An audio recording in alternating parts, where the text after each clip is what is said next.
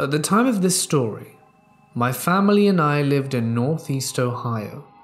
Most of our extended family on my father's side lived in central Florida. So for the Christmas holidays, we would go and spend time with my grandparents and aunts and uncles. At the time, I was six years old. My brother Russ was four, and my brother Chase was two, and my brother Braden was four months. The trip down to Florida was uneventful. We did not come across any car wrecks or anything of interest. It was a very long drive, though, especially with a four month old baby. We drove in a red minivan that was loaded down to clothes and toys.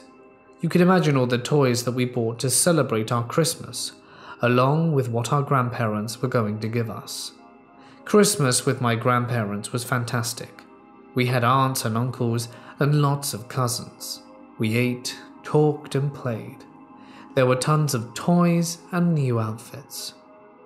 When the time came to go home, we had twice as much as what we came with.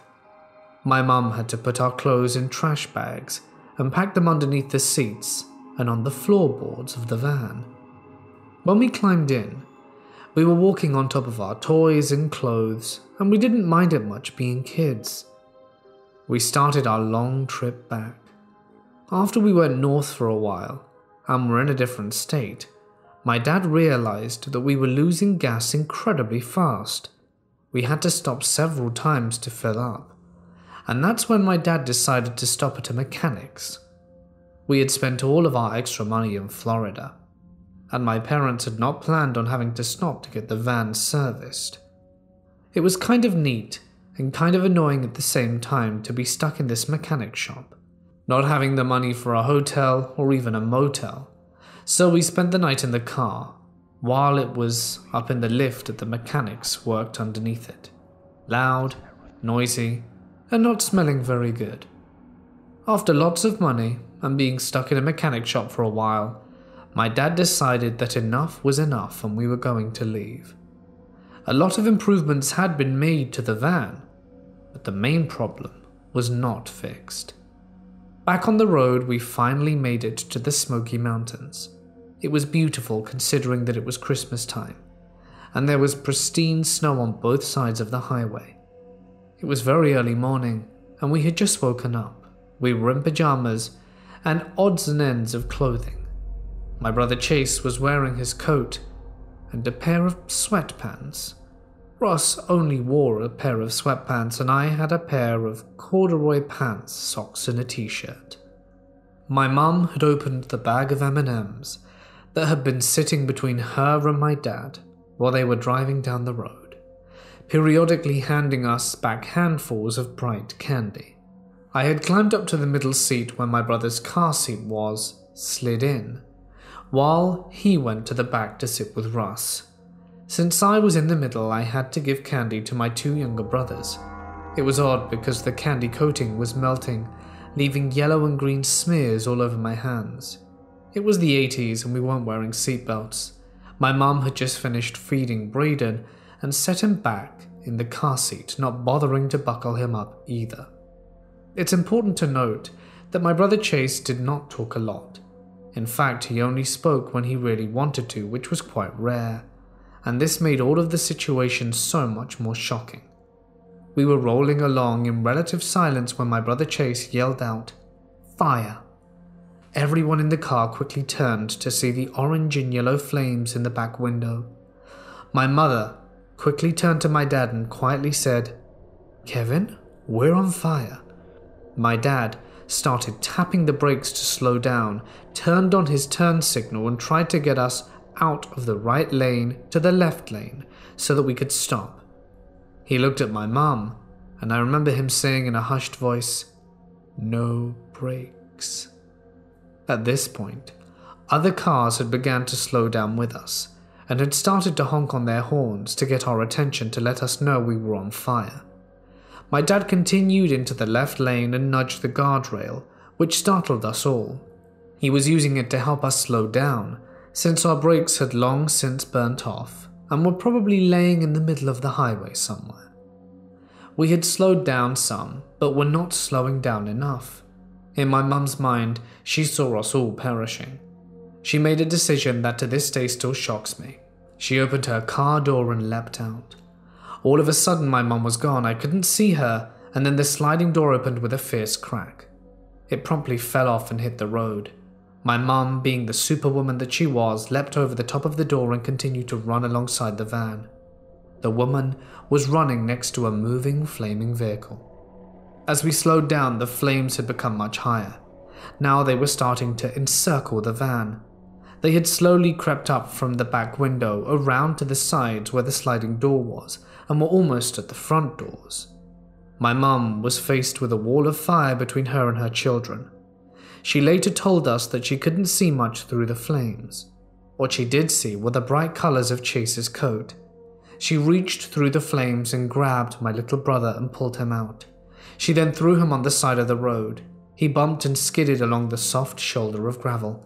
And a few moments later, my dad was able to get the car stopped by bumping the guardrail. And now that my mum's door was shut because of the guardrail and the wall of fire that I saw out the sliding door, I had no way out. My dad threw open his door, and I saw my chance. I grabbed his broad shoulders and hung on for dear life. As he jumped out the van, he inadvertently dragged me along with him, pulling me over his seat. Boy, was I lucky. When he ran around to the side of the van, I slid off of him. I looked for my mum and saw her running down the mountain. I climbed over the guardrail and began to run to her and yell for her, and she turned and yelled at me to run. I started down the steep hill of the mountain. It was freezing. The snow had dug one of my socks off my foot. I stopped to look for my sock, and that is when I saw my mum saw me and yell again for me to keep running. She stopped and waited for me. When I got to her, she grabbed me and continued to run as fast as she could. I was cold, but she said it didn't matter. Little did I know that my dad had gone in to rescue my two other brothers. When he reached the side of the van where the sliding door had been, he was met with the same thing my mum was a wall of fire. He knew that Braden's car seat was just beyond the flames. He reached out and grabbed my infant brother as the fire engulfed his car seat. My brother Russ had made it from the back seat to the middle and then to the front seats, and my dad told him to jump as the flames overtook the van. Turning to make his escape and jump over the guardrail, my dad reached behind for my brother. To his surprise and horror, my brother wasn't there. He turned and saw my brother still standing between the two front seats, so he did what any dad would. He reached through the fire once again and grabbed my brother by the back of his sweatpants. He yanked him out, threw him over the shoulder, quickly turning and putting one leg over the guardrail to make a dash for safety. The van exploded. The force knocked my dad over the rail and put him and my two brothers in the snow. He was able to keep hold of his sons and run. The van proceeded to explode twice more. As my mum and me went further down the mountain, she was able to see what was happening. When we eventually heard the boom, she shielded mine and my brother's tiny frames with her body. Eventually, we all met up on the side of the road. There was a nice older lady waiting for us with a blanket. She took me, Russ, and Chase and put us in her car with the heat on full blast. When the door shut, Russ turned to us and said, Look. He opened his hands and had showed us a melted mess of green, yellow, and orange candy. They'd melted. Fire trucks and ambulances showed up. My mum was trying to hush Braden, but the heat had been so intense that it had dried up her milk and she couldn't feed him. The firemen gave us colouring books and oxygen. At the hospital, we were all examined. I only had a small scratch from the snow, Russ was treated for smoke inhalation. His blonde hair was now so matted and an orange colour from the heat and flames. My dad had no hair on either arm and no eyebrows and was treated for smoke inhalation also. My mum's arm was hairless. Her milk was dry, but she was fine. Chase had some road rash from my mum getting him out of the way. Poor Braden, he had it the worst. While my dad had been trying to get him out, there must have been a flame or some hot metal that he touched. He had been burnt so badly. Thirty years on, fortunately, he has no scars or any lasting damage. We really should have all perished. There are a lot of ifs or buts, but the important thing is, we're alive. My parents are heroes. They saved not one, but four kids under the age of seven. They literally went through fire for us, risked life and limb, and that is pure love. That is family. The cause of the fire was a dime sized hole in the gas tank.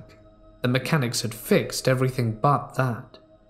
Thirty years later, I'm still afraid to get into any red minivans.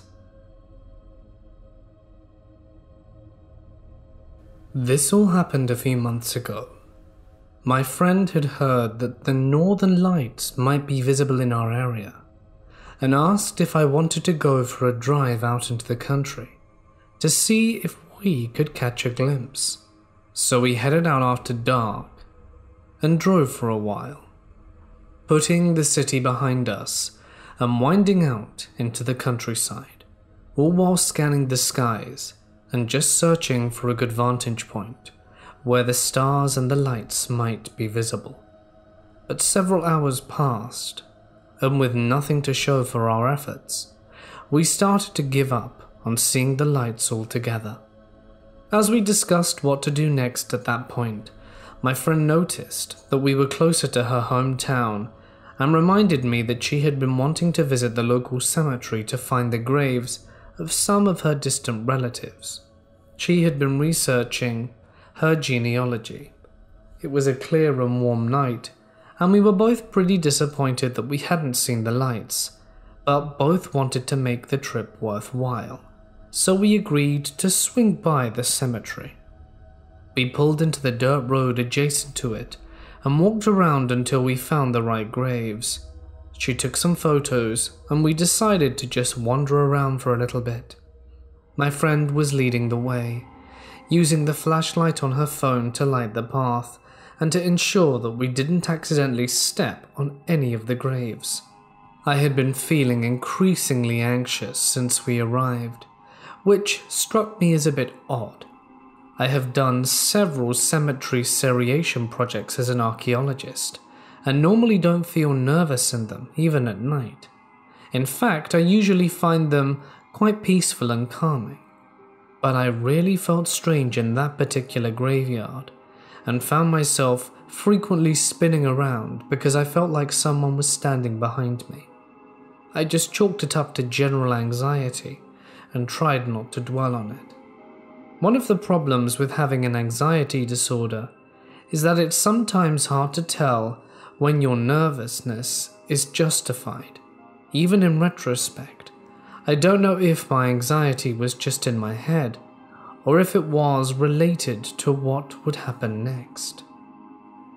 After wandering for a while, we realized it was approaching 1am and that we should probably get back home. We turned back and headed towards the car. My friend's car was in sight, and she was a few yards ahead of me when it happened. I suddenly got a wave of that nervous feeling again and thought that I heard someone running up behind me.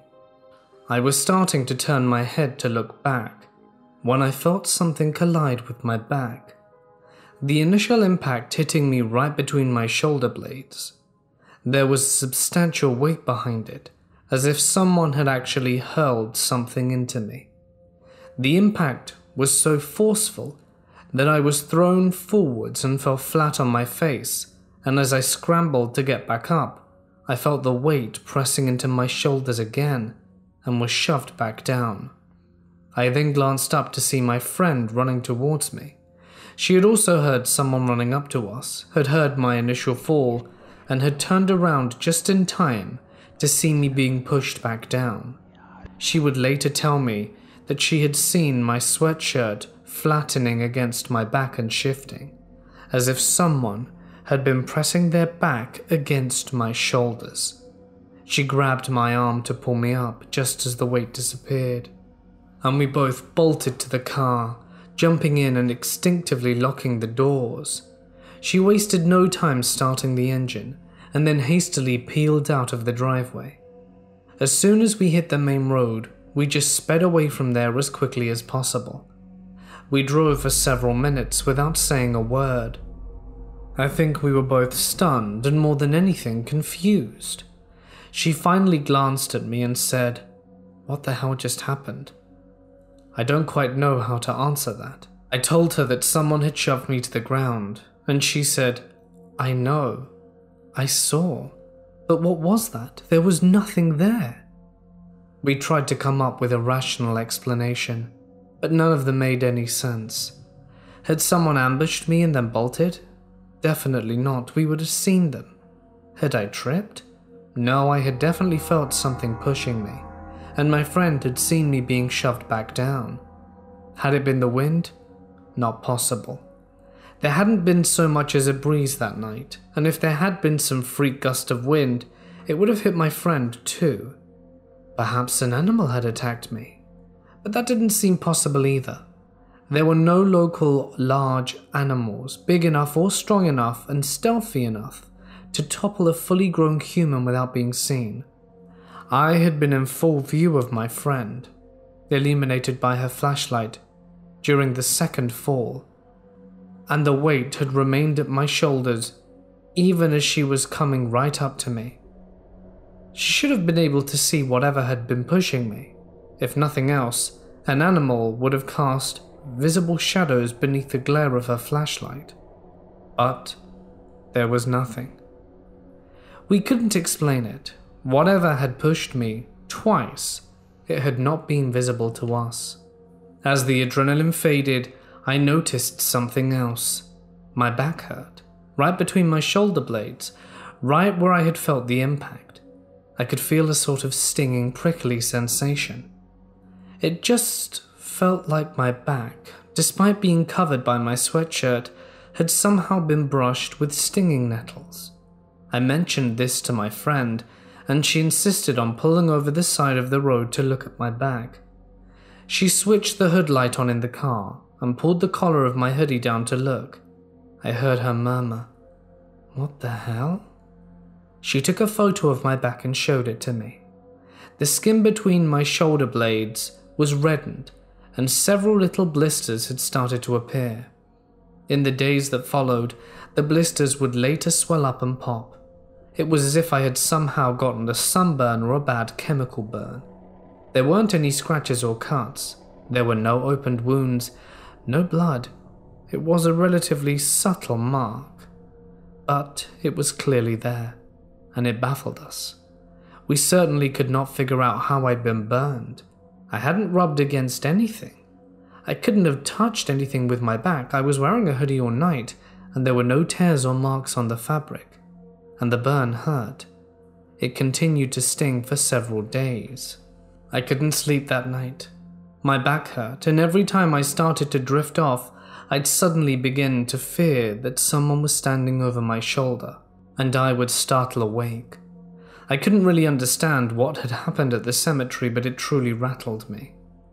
I don't know where exactly I stand on the issue of paranormal phenomena. To be honest, as an anthropologist, I'm trained to keep an open mind, but I still have to rely on a deeply academic and often empirical perspective. Still, I know that something truly bizarre and frightening happened that night, and my inability to explain it, to account for every strange little detail, has been deeply disturbing. It's also been especially difficult to grapple with because I already have PTSD from a previous assault, and there is something profoundly unsettling about the fact that in this instance, there is nothing I could have done to defend myself, and with no clear explanation for it. There is no way for me to prevent something like this from happening again, and I can't cope with a fear that I cannot begin to understand. It's also begun to affect my dreams. I've had several odd nightmares since the incident in the cemetery, dreams that are oddly similar to the nightmares that I've had for many years while growing up. I don't know where they came from, but for as long as I can remember, I've had dreams in which a creature is attempting to lure me one way or another, and in the dreams I usually understand this creature to be a demon. Put simply, sometimes evil, something dangerous, like the entity in the graveyard, is difficult to understand. These dreams have become suddenly relevant again, as I seem to have them nearly every time I fall asleep these days.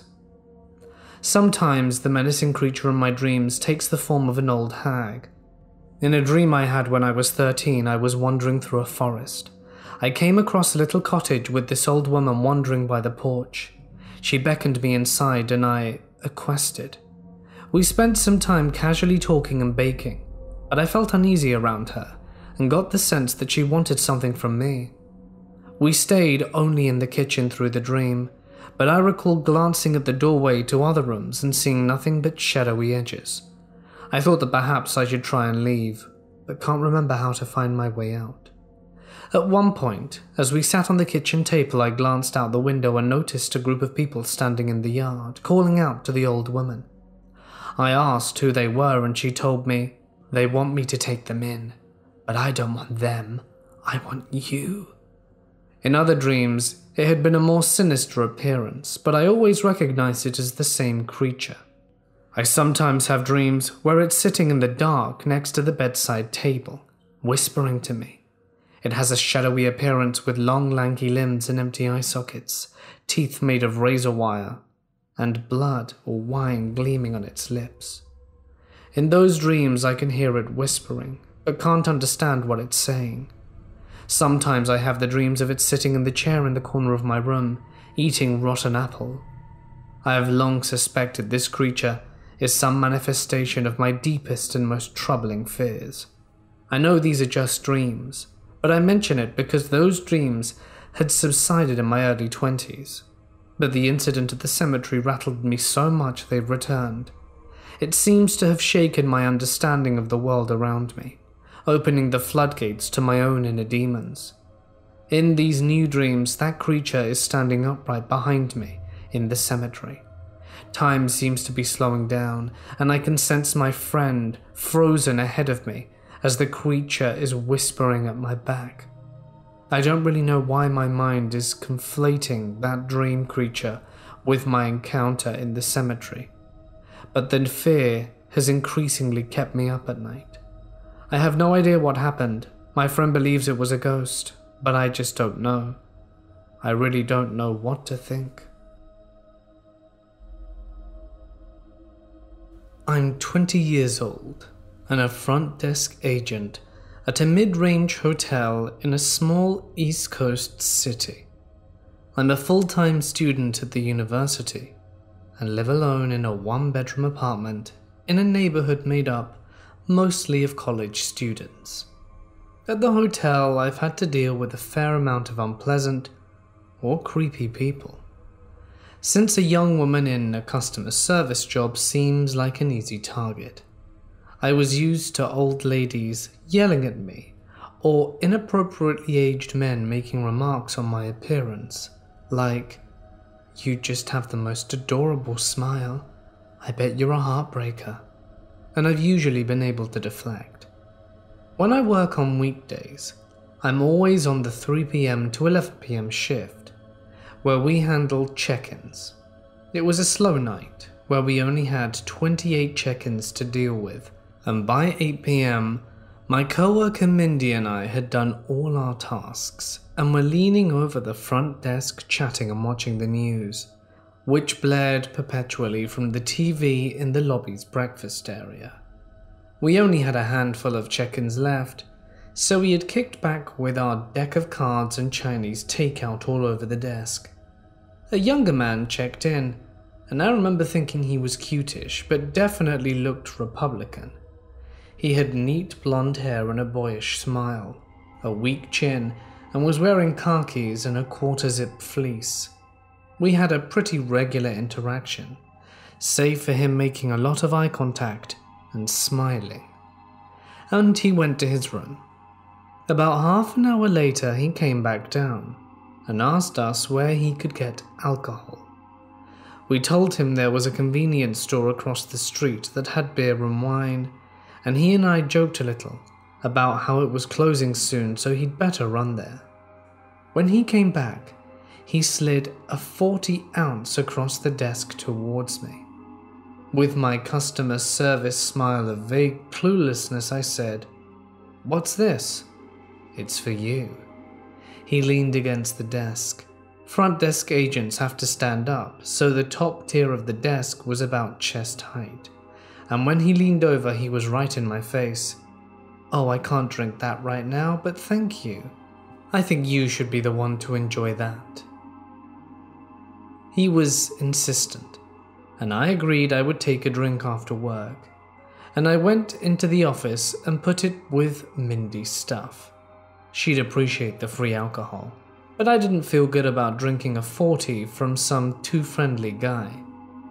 He hung around the desk for a while, and Mindy is the type of person who can keep someone talking for hours, even if they don't want to, because her brain never runs out of content and she treats everyone like she's known them for years. This meant that this guy, Mr. Hanson, wasn't leaving anytime soon. They were talking about politics, and I heard him throw around some vaguely conversive rhetoric, but I pretended to be engrossed in my homework. He kept glancing over at me and trying to smile, but it was getting late, my feet hurt, and all I wanted to do was to go home in my underwear, roll a spliff with my cats, instead of allowing some 35 year old he could flirt with me. At one point, Mindy had to make a phone call, so he slid down the desk towards me. I put on my customer service smile. So, go to a liberal arts college? My uniform shirt was short sleeved, so you could see a few tattoos on my arm, and I have a nose piercing so I assumed that the music theory homework I was doing on him informed his guess. Oh no, I go to the local university. The city's main attraction besides its hippies and breweries was my college, and a pretty good state school, so it was surprising he didn't assume I went there instead. He was sizing me up, and I prayed that Mindy would be done with her phone call soon, but it was her long distance boyfriend and she wandered into the back office to talk to him. He started talking about his experience in his southern university and how he was a veteran but got injured so he lived off pension or something and didn't work and was just touring New England right now. The conversation somehow turned to his love life, but I'm pretty sure I was so spaced out by that point, thinking about how I was going to eat at least an entire frozen pizza when I get home that I didn't pay attention to what he was saying until it was clear he had asked me a question. Would you do that? he asked. Would I do what? Get freaked out because I don't work? A lot of the chicks I date think that's weird. I remember exactly what he said because I thought it was weird he called girls chicks and how he spat it out. I laughed nervously and said, I don't know, I don't think so. The hotel was on the smaller side, and I was very aware of the fact that Mindy and I were the only employees in the building at that time. He began to ask me probing questions about my love life, along the lines of Are you single? No. Would you like him if he moved away? Do you think you'll be with him a long time? The last question freaked me out, and I wished I'd asked him to stop asking me personal questions like that but I'm polite to a fault even when I'm not working. So I kept smiling and laughing and giving him friendly but impersonal answers. You're very warm, he told me. Have you ever worked with kids? He talked a lot about how the girls he dated back wherever he was from, Ohio maybe, are shallow and materialistic, and how I seemed like a down to earth kind of girl. I was such a cutie. And did I know about the Girl Next Door troop? I'm like the girl next door, but cool, he told me. I imagined he was referring to my tattoos again, and at this point I was physically queasy and uncomfortable but couldn't disengage. Guest reviews are hugely important in the hospitality business, so at this hotel, we're strictly trained to let guests treat you however they want. You just can't upset them. It probably would have been reasonable at this point to ask him to leave the front desk but I felt so hopeless and being assertive with people at work is so against my instinct that it didn't even cross my mind to say anything. Because of this, I had to stay there listening to this guy and politely accepting compliments. I assumed he typically got away with it since he was attractive and clean cut with a slight baby face. I kept praying for the phone to ring and for someone to ask me to perform some sort of complicated and long task so I could get away. but the only time it did was when a neighboring hotel called to ask if we had printer ink. Mindy was on the phone in the back until eventually Sam, our night auditor, arrived. And I realized that this guy had monopolized the entire last two hours of my shift, trying to get me to sleep with him and or admit I secretly supported Trump. Hoping Mr. Hanson would take this as his cue to leave, I went into the office and got my coat and backpack. When I came back out to witness Sam count the draw, Mr. Hanson was still standing there. Well, I hope you have a good night, I said to him. Are you walking out this way? He gestured down the hall which led to all the rooms, as well as the door to the back parking lot. I told him I parked out front, which thankfully was true, and was able to get into my car successfully. I sat there for a while responding to the texts that had piled up on my phone while Mr. Hanson was diverting my attention. It was about a 10 minute drive from the hotel to my apartment downtown, and I noticed that a car was pulling out of the parking lot at the same time I was. It wasn't Mindy's car, she always stayed an extra half hour or so after her shift technically ended, but there was another hotel next door, so I assumed it was an employee or guest there. I wasn't too concerned when the Nissan was right behind me, but I noticed it had Florida plates, which a lot of rental cars around here do. I take a weird way to get across town, which involves cutting through the University Hospital's enormous and needlessly complicated parking lot, which spans about three blocks. It wasn't necessarily a quicker route, but I liked how there were never any cars there this time of night, and I could go as fast as I wanted in a Subaru Outback. The parking lot, as I said, is needlessly complex, which means stoplights which all turn into blinking yellows after 9 pm, medians and grassy areas placed seemingly at random, and a lot of twists and turns which all go to specific buildings and exits. I'm explaining this parking lot in so much detail to express how strange it was that this rental car was following me this pretty nonsensical route. It was not a way that any kind of map app would take you, since there are more straightforward streets surrounding the parking lot. I initially assumed it was someone going to the hospital, since it was the only major medical facility in a 100 mile radius, and the only well funded one in a larger area. A lot of the people and their families who stayed at the hotel were going there for the hospital, so the momentary explanation I gave myself seemed feasible. It was maintaining a polite distance, but was one of those cars with the ultra bright LED headlamps which were blinding my mirrors, so the car was impossible to ignore it followed me around each point, and at one point, just to see, I went in a big circle around the south half of the lot. Sure enough, the car made the exact same circle. My explanation, which was already crumbling, dissolved completely when I drove past the entrance to both the main hospital and the emergency room. Steady consumption of crime shows, scary movies, and true crime Reddit pages and podcasts have made me a very paranoid person. So at that point, I picked up that something was probably wrong. I figured I should avoid going back to my real apartment, especially since it was just begging to be broken into with a lot of windows and a very old front door that opens directly to the outside. Obviously, at this point, I was relatively certain it was Mr. Hanson. Like I said, I had had guests cross the line before, making me come out from behind the desk to hug them, touching me when I'm straightening up the lobby, asking the front desk to bring up a towel, and answering the door in various states of undress, but I had never been followed or particularly fixated on. A hotel receptionist, even if they're good looking, is someone you have a few brief and pleasant interactions with, but you don't really think about them when they're not there. I decided my best bet would be to get back to the hotel. I looped back through town, the Nissan following at a polite distance, and I'll reiterate how he was trying to be discreet as he could, keeping as far behind as possible while still maintaining me within sight. He wasn't trying to intimidate me so much. maybe monitor me. Whatever his reasons, I was still afraid. I abandoned the use of turn signals and sped back to the hotel, calling the hotel along the way and asking Sam if he and possibly the security guard we contracted to patrol the property after 11 pm could meet me at the front door.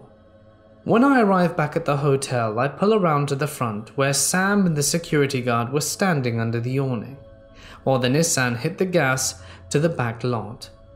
I explained the situation and the security guard went out the back door to look for the car and its driver.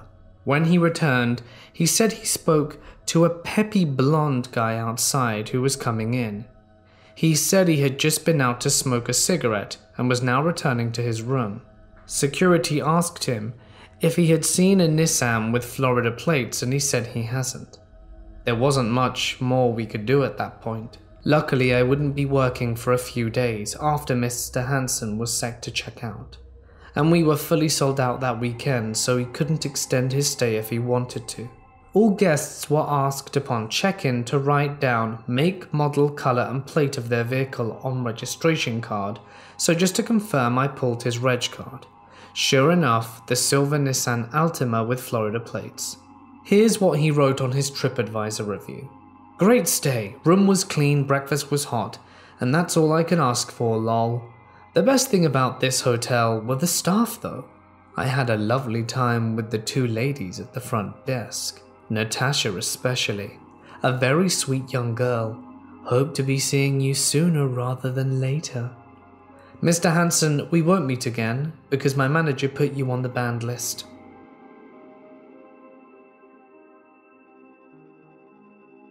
Around a year, maybe a year and a half ago, I was using an app called Whisper to help me make friends after getting out of high school. I was 19 at the time and had a really nice boyfriend. I had used Whisper before and actually made two to three friends during my senior year and also found a friend of mine's boyfriend cheating using Whisper. So safe to say this app can be a handful sometimes. I put out a whisper asking for someone to talk to, and of course I got a ton of replies but couldn't get to all of them. But I messaged some of the more interesting ones back. This guy named Jack started messaging me and seemed really nice. He said he was 23 and lived 8 minutes from my house. If you used Whisper, you'd know that you'd be able to search by area or go into a general section and see thousands of whispers being uploaded that you could reply to. You can also send photos instantly after four messages. As soon as we messaged four times, he sent me a selfie, and I was surprised but didn't really respond to it. Jack was telling me how he worked for a towing company in a neighboring town how he would have to go use the interstate to go places, and all that. At the time, I didn't have a job, as my mother was sick, and so I would use my laptop out in the kitchen at the table to watch streams and play some games in case she needs me at any point. I remember watching my friends stream, talking to my friends, and generally just having a good time, until I got a text from Jack. Now, I never gave him my address, never even really explained where I lived, and I did not mention the church, the interstate, nor any landmarks near me. But he texted me saying, Hey, look out your window. I thought maybe something happened on the interstate, but then I remembered I never told him how close it was to me. But I assumed maybe he just guessed I lived nearby. I see a tow truck right outside my house with a car that broke down. My blood ran cold. He was at the truck, waving. Also, very inappropriate while working, but that's besides the point. I started shaking. Due to having some bad anxiety, I ended up having an anxiety attack. How did he know where I lived? I replied by asking that exact same question, and he said, Well, you're home, aren't you? I didn't respond. I went back to the stream I had up and started typing to my friends, freaking out to them and causing them to panic as well. I didn't want to call the cops because my cousin is one, and so is one of my friends. As soon as anything was heard about it, I thought I'd be in deep trouble for it, so I ignored him. Then he sent me a picture of his member on the app. I was disgusted. I deleted the post and messages from Whisper and blocked him. The next day, an unknown number messaged me. I figured it was him. I ignored it, and then I got a restricted phone call and answered. Big mistake. I was out in the garage with my cat, and this voice on the other end said, Hey, you look so sexy right now. Want to go for ice cream down the road? I looked out the door that was next to me, and I see him in his car driving slowly, keeping his eyes locked on me. I jumped up and ran inside after hanging up, running to my room so I could feel comforted by my blankets in bed. I was petrified. I got a job soon after that at Subway, and he would come in and start harassing me, texting me on random numbers since I would block them all, and I felt paranoid all the time, knowing he seemed to know where I was at all times. One day, my now ex boyfriend ended up texting him, as I had given him his original number that I had just in case anything happened since I blocked it. Furiously telling him to leave me alone, stop talking to me, and everything. I never got a message back after that, but I'm still paranoid he's watching me. So, Jack, let's not meet.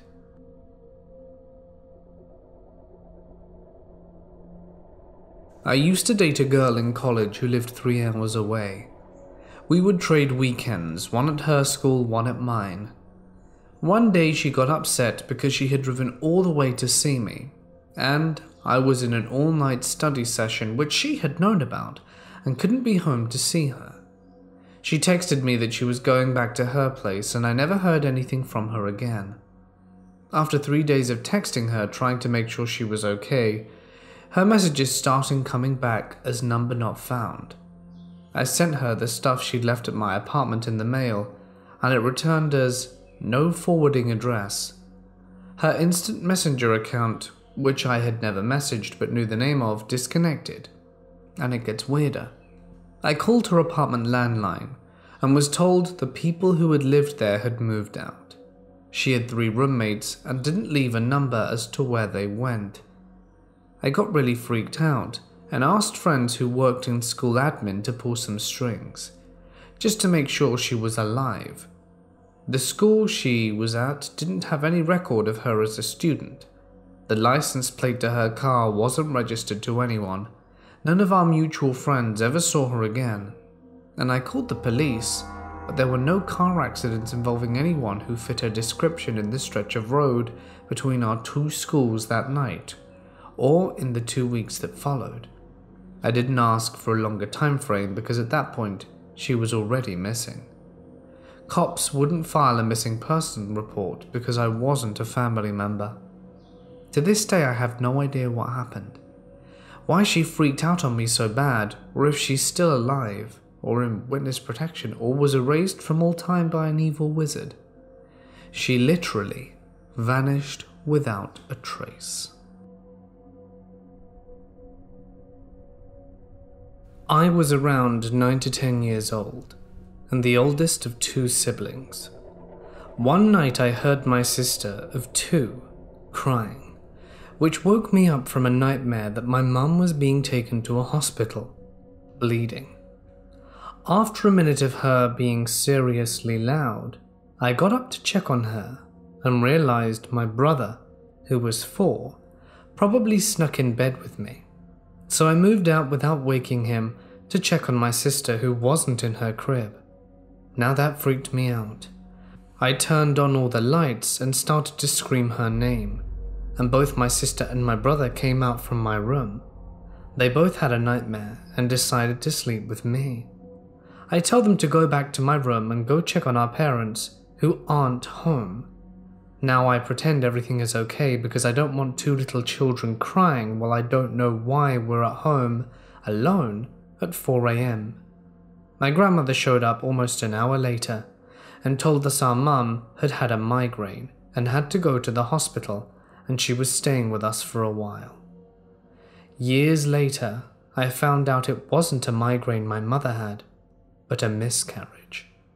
I have no explanation for what happened that night.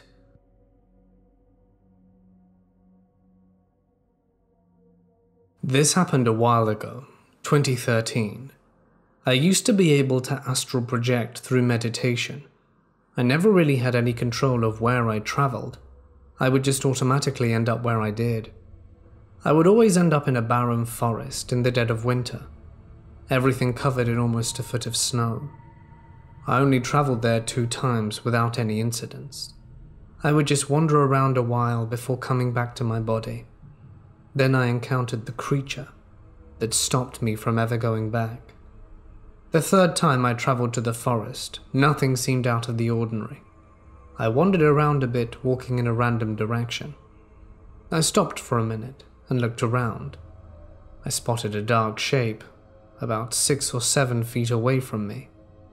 It was this pure black wolf staring right at me. I wasn't afraid for whatever reason, and the wolf turned and started walking away from me, but stopped after walking about a foot. It looked back at me, as if beckoning me to follow it, and follow the wolf I did. I followed the wolf for what felt like 20 minutes. It led me to a clearing in the woods I had never been to before. As soon as I stepped into the clearing, the wolf ran back into the woods. I watched it run off and then looked around the clearing. The atmosphere, which had felt completely normal up until this point, shifted once I saw what was standing on the other end of the clearing. It was like a pressure pushing me down. The air itself felt heavy. What was standing on the other end of the clearing was a tall humanoid creature. Its skin appeared black, pitch black. It had cloven hooves for feet, but no fur on its body. Its body was incredibly thin, to the point of being able to see its ribs. Its arms were abnormally long. Its hands ended in long talons. It had these crooked, jutting horns I couldn't for some reason make out any facial features except for its eyes. They were bright, glowing red. I was terrified and stood there for what felt like a minute or so. This creature and I were just staring at each other before I snapped back to my body. After I returned to my body, I felt like I was out of breath and couldn't stop trembling for a good while. I was understandably pretty shaken up. I tried for some research, but Google wasn't yielding the answers I was looking for. I spoke with a few acquaintances who supposedly had more experience and knowledge in these matters than I did, and got some advice, which, looking back now on the events that happened, was not very good advice. A few weeks after my initial encounter, I decided to return to the forest. Before going back, I formed a salt circle around myself as I was advised, as a protective measure. I entered my meditative state and found myself back in the forest, more specifically, but in the clearing, where I had the first encounter with the creature. Immediately, I felt the pressure and heaviness in the air, only this time it was worse. My back was turned away from the clearing, facing the trees. I could feel the presence of the creature right behind me. Remembering the advice that was given to me, I summoned as much resolve and courage as I could, and made what I know now was a huge mistake. I spoke to it, trying to keep my voice as steady and commanding as I could. Despite being terrified, I said, You have no power over me. Silence stretched for what was probably only a few minutes as I waited for something to happen, or a response of some kind. What I didn't expect to happen was that the creature reached out and touched me. Have you ever been burned badly? I once burnt part of my hand with an iron once, and that was the closest thing I can compare the sensation to. The creature grabbed my neck, its talon hand encompassing the whole of my neck. It hurt so much I couldn't even find it within myself to scream. The next thing I knew, I was back in my body still feeling a slight burn in my neck, but only a phantom of what I felt before. There were no marks left behind, just the memory of the feeling. I tried to put the experiences from my mind, just forget all about it and go about my life. After all, I had a part time job and community college classes to worry about. Everything seemed normal. until about a week later. Going about by day, I would catch small glimpses of the creature for mere split seconds. I was, of course, alarmed, and my distress only became worse when I came to a horrifying realization. Each time I caught a glimpse, the creature would be ever so slightly closer. I tried to once again find answers to what happened through internet searches, but found nothing that appeared helpful, nor could tell me what I was dealing with. After a few days of dealing with this, things got even worse, as they usually do. I began to hear whispers as if they were coming from inside my head. I couldn't ever make out what they were saying, but it unnerved me greatly. As the creature grew slowly closer, the whispers grew louder. In desperation for help, I turned to my mother. My mother is a religious woman, and after I explained everything that had happened and was happening, she was extremely concerned. She immediately called the pastor of her church who came to the house, with the church's youth pastor as well. They prayed over me, spoke to me about spiritual warfare, because they assumed what I was dealing with was a demonic being. After the visit from the pastor, I did stop seeing the creature, but the whispers grew in volume and took a very aggressive tone. It began to wear on me and my sanity.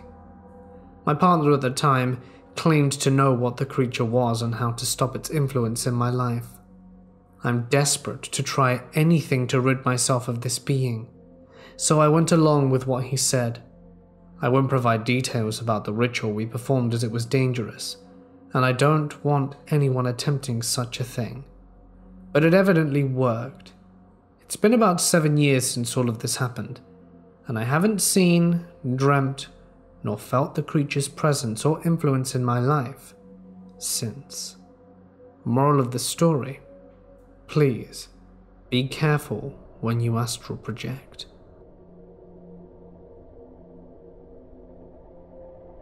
I live in New Orleans, and years ago my brother wanted to adopt a dog from a small rural town about two hours away. It was an easy enough drive, but we got close to the town of Clinton, and I started noticing a ton of police driving around. No sirens, nobody speeding by, but I think I probably saw 15 to 20 patrol cars in the span of about 10 minutes. We get to the house, meet the foster mum and the dog, who is the sweetest thing in the world, and decide to adopt her and head home about two hours later. Everything seems fine, Tally, the dog, climbs up in the front seat while I'm driving and falls asleep, leaving my brother to sit in the back by himself, which was hilarious. We keep driving and notice that there are even more cops driving around, but still no sirens. They're just everywhere though. As we're leaving Clinton, maybe about three miles or so to the exit, I notice this old white sedan coming flying up on our rear, flashing their lights and honking. I didn't really think about it, but I figured maybe these people were hurt or needed something. It definitely wasn't a cop car, but it was unusual for sure. I started to pull over to the shoulder, and they pulled over as well, about 10 to 15 yards behind us when they stopped. I stopped the car, and when I turned around, I looked at my brother. For some reason, as soon as our eyes met, the hair on the back of my neck stood on end, and I realized there was something very wrong about this. I hesitated, wanting to see if someone needed help, but as soon as the door of the car behind us opened, a voice in my head said to get the hell out of there. I peeled out, sped for the exit, making sure nobody had followed us, and we got back to New Orleans safe and sound. But the entire time I was watching for that car to ensure they didn't follow. I never learned what happened with all the police cars or the white sedan, but something was really wrong. I should have listened to my gut way sooner. Stopping even temporarily was really stupid of me. I hypothesize that there was some kind of raid or something, and the cops were looking for someone as we were driving through. The white sedan was trying to get us to pull over so they could carjack us and dodge the cops further. I don't know though, and I hope that it was someone innocent that needed help and I just bailed. But I don't know. I have a pretty strong feeling, as does my brother, that there was something funky going on. My father, my brother, and I have always been believers in the paranormal, and throughout our lives, we've all had our own experiences. One of our favourite bonding activities when we got bored was to go out to one of the local graveyards and hunt ghosts. We always carried an EMF meter, a decent camera, a big honking railroad lantern from my dad's days in Union Pacific, and a phone with an audio recording app. One night, I had a friend visiting from Pennsylvania, and we decided to go a hunting. We had come up empty handed the first few minutes, although our flashlight and our camera seemed to be losing power quite fast. Then a pack of coyotes, probably at least half a mile away, got riled up and started howling. This was not uncommon since we lived in rural Nebraska, but my friend is a very high strung guy and lives in Pennsylvania Metro, so the coyotes gave him the creepy crawlies. Suddenly, something that was clearly not a coyote let out a massive cry. I'm not a zoologist, but it sounded far too low to be a wolf howl, and far too loud and primal to be someone's sheepdog. I turn to my friend with a big grin and say, That sounds bigger than a coyote. This is the last straw for him, and so me and my brother walk him back to our truck while my dad is off in the other end of the cemetery. My brother and I start walking back to where my dad is, and when he comes sprinting through the headstones panting, he said he was walking along when he suddenly saw a bright light like a camera flash. He brought his camera up and said, Are you kidding me? and snapped a shot. My first and immediate thought was cigarette smoke, but my dad had quit smoking only a few weeks ago. Our grandpa had passed from lung cancer when we were young, and my dad and my brother had both been in tears when we begged him to stop smoking. My brother had kept tabs to make sure he didn't relapse. The picture isn't great quality, and it's far easier to analyze in full resolution. My dad is convinced that the wisp to the left is the arm of the apparition reaching for him, and the head and torso are on the right. Even when we aren't with him, my dad goes out on his own. He has a job as a night shift trucking dispatcher, and when he's bored, he'd use his breaks to walk a graveyard and record EVPs. He never caught much of anything, until one day he found a fresh grave. It was a Rain Termant, and he started reading off the gravestone and asking why it was so fresh. He mispronounced the woman's last name and quickly corrected himself. It was only later when we listened to the audio that we heard an annoyed mumbling in the background after he mispronounced her name. It definitely had an I'd like to speak to a manager kind of quality. He was alone in a prairie graveyard at 3 am, with hardly even a gust of wind. The only explanation is that someone was very annoyed he couldn't get their name right. The most exciting of my dad's graveyard adventures, though, was that one time that something followed him home.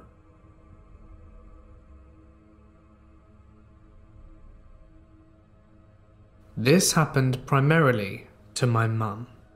I'm a 19 year old female who was studying in a university in England, entering my second year last month. We decided to stay in my university town the day before I was due to move into my student home, so I could get there early and move my stuff in and give me the rest of the day to relax before we started Freshers Week. The night before moving day, me and my mother stayed in a local hotel in my university town and were greeted by a friendly guy called Jeremy. Jeremy was very attentive and showed us to our rooms and stayed around 10 minutes telling us the history of the hotel and repeatedly asked us if we needed help unpacking and stuff, which we kindly rejected. It was a Friday, so me and my mother went around the town and had a few drinks. Nothing too heavy as Freshers Week started the next day, so I wanted to be fresh for Saturday night.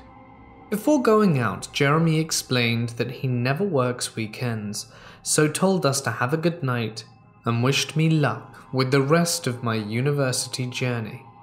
He gave me and my mother a hug each and a slight kiss before moving his hand down towards her bum, which she found weird but brushed it off as nothing.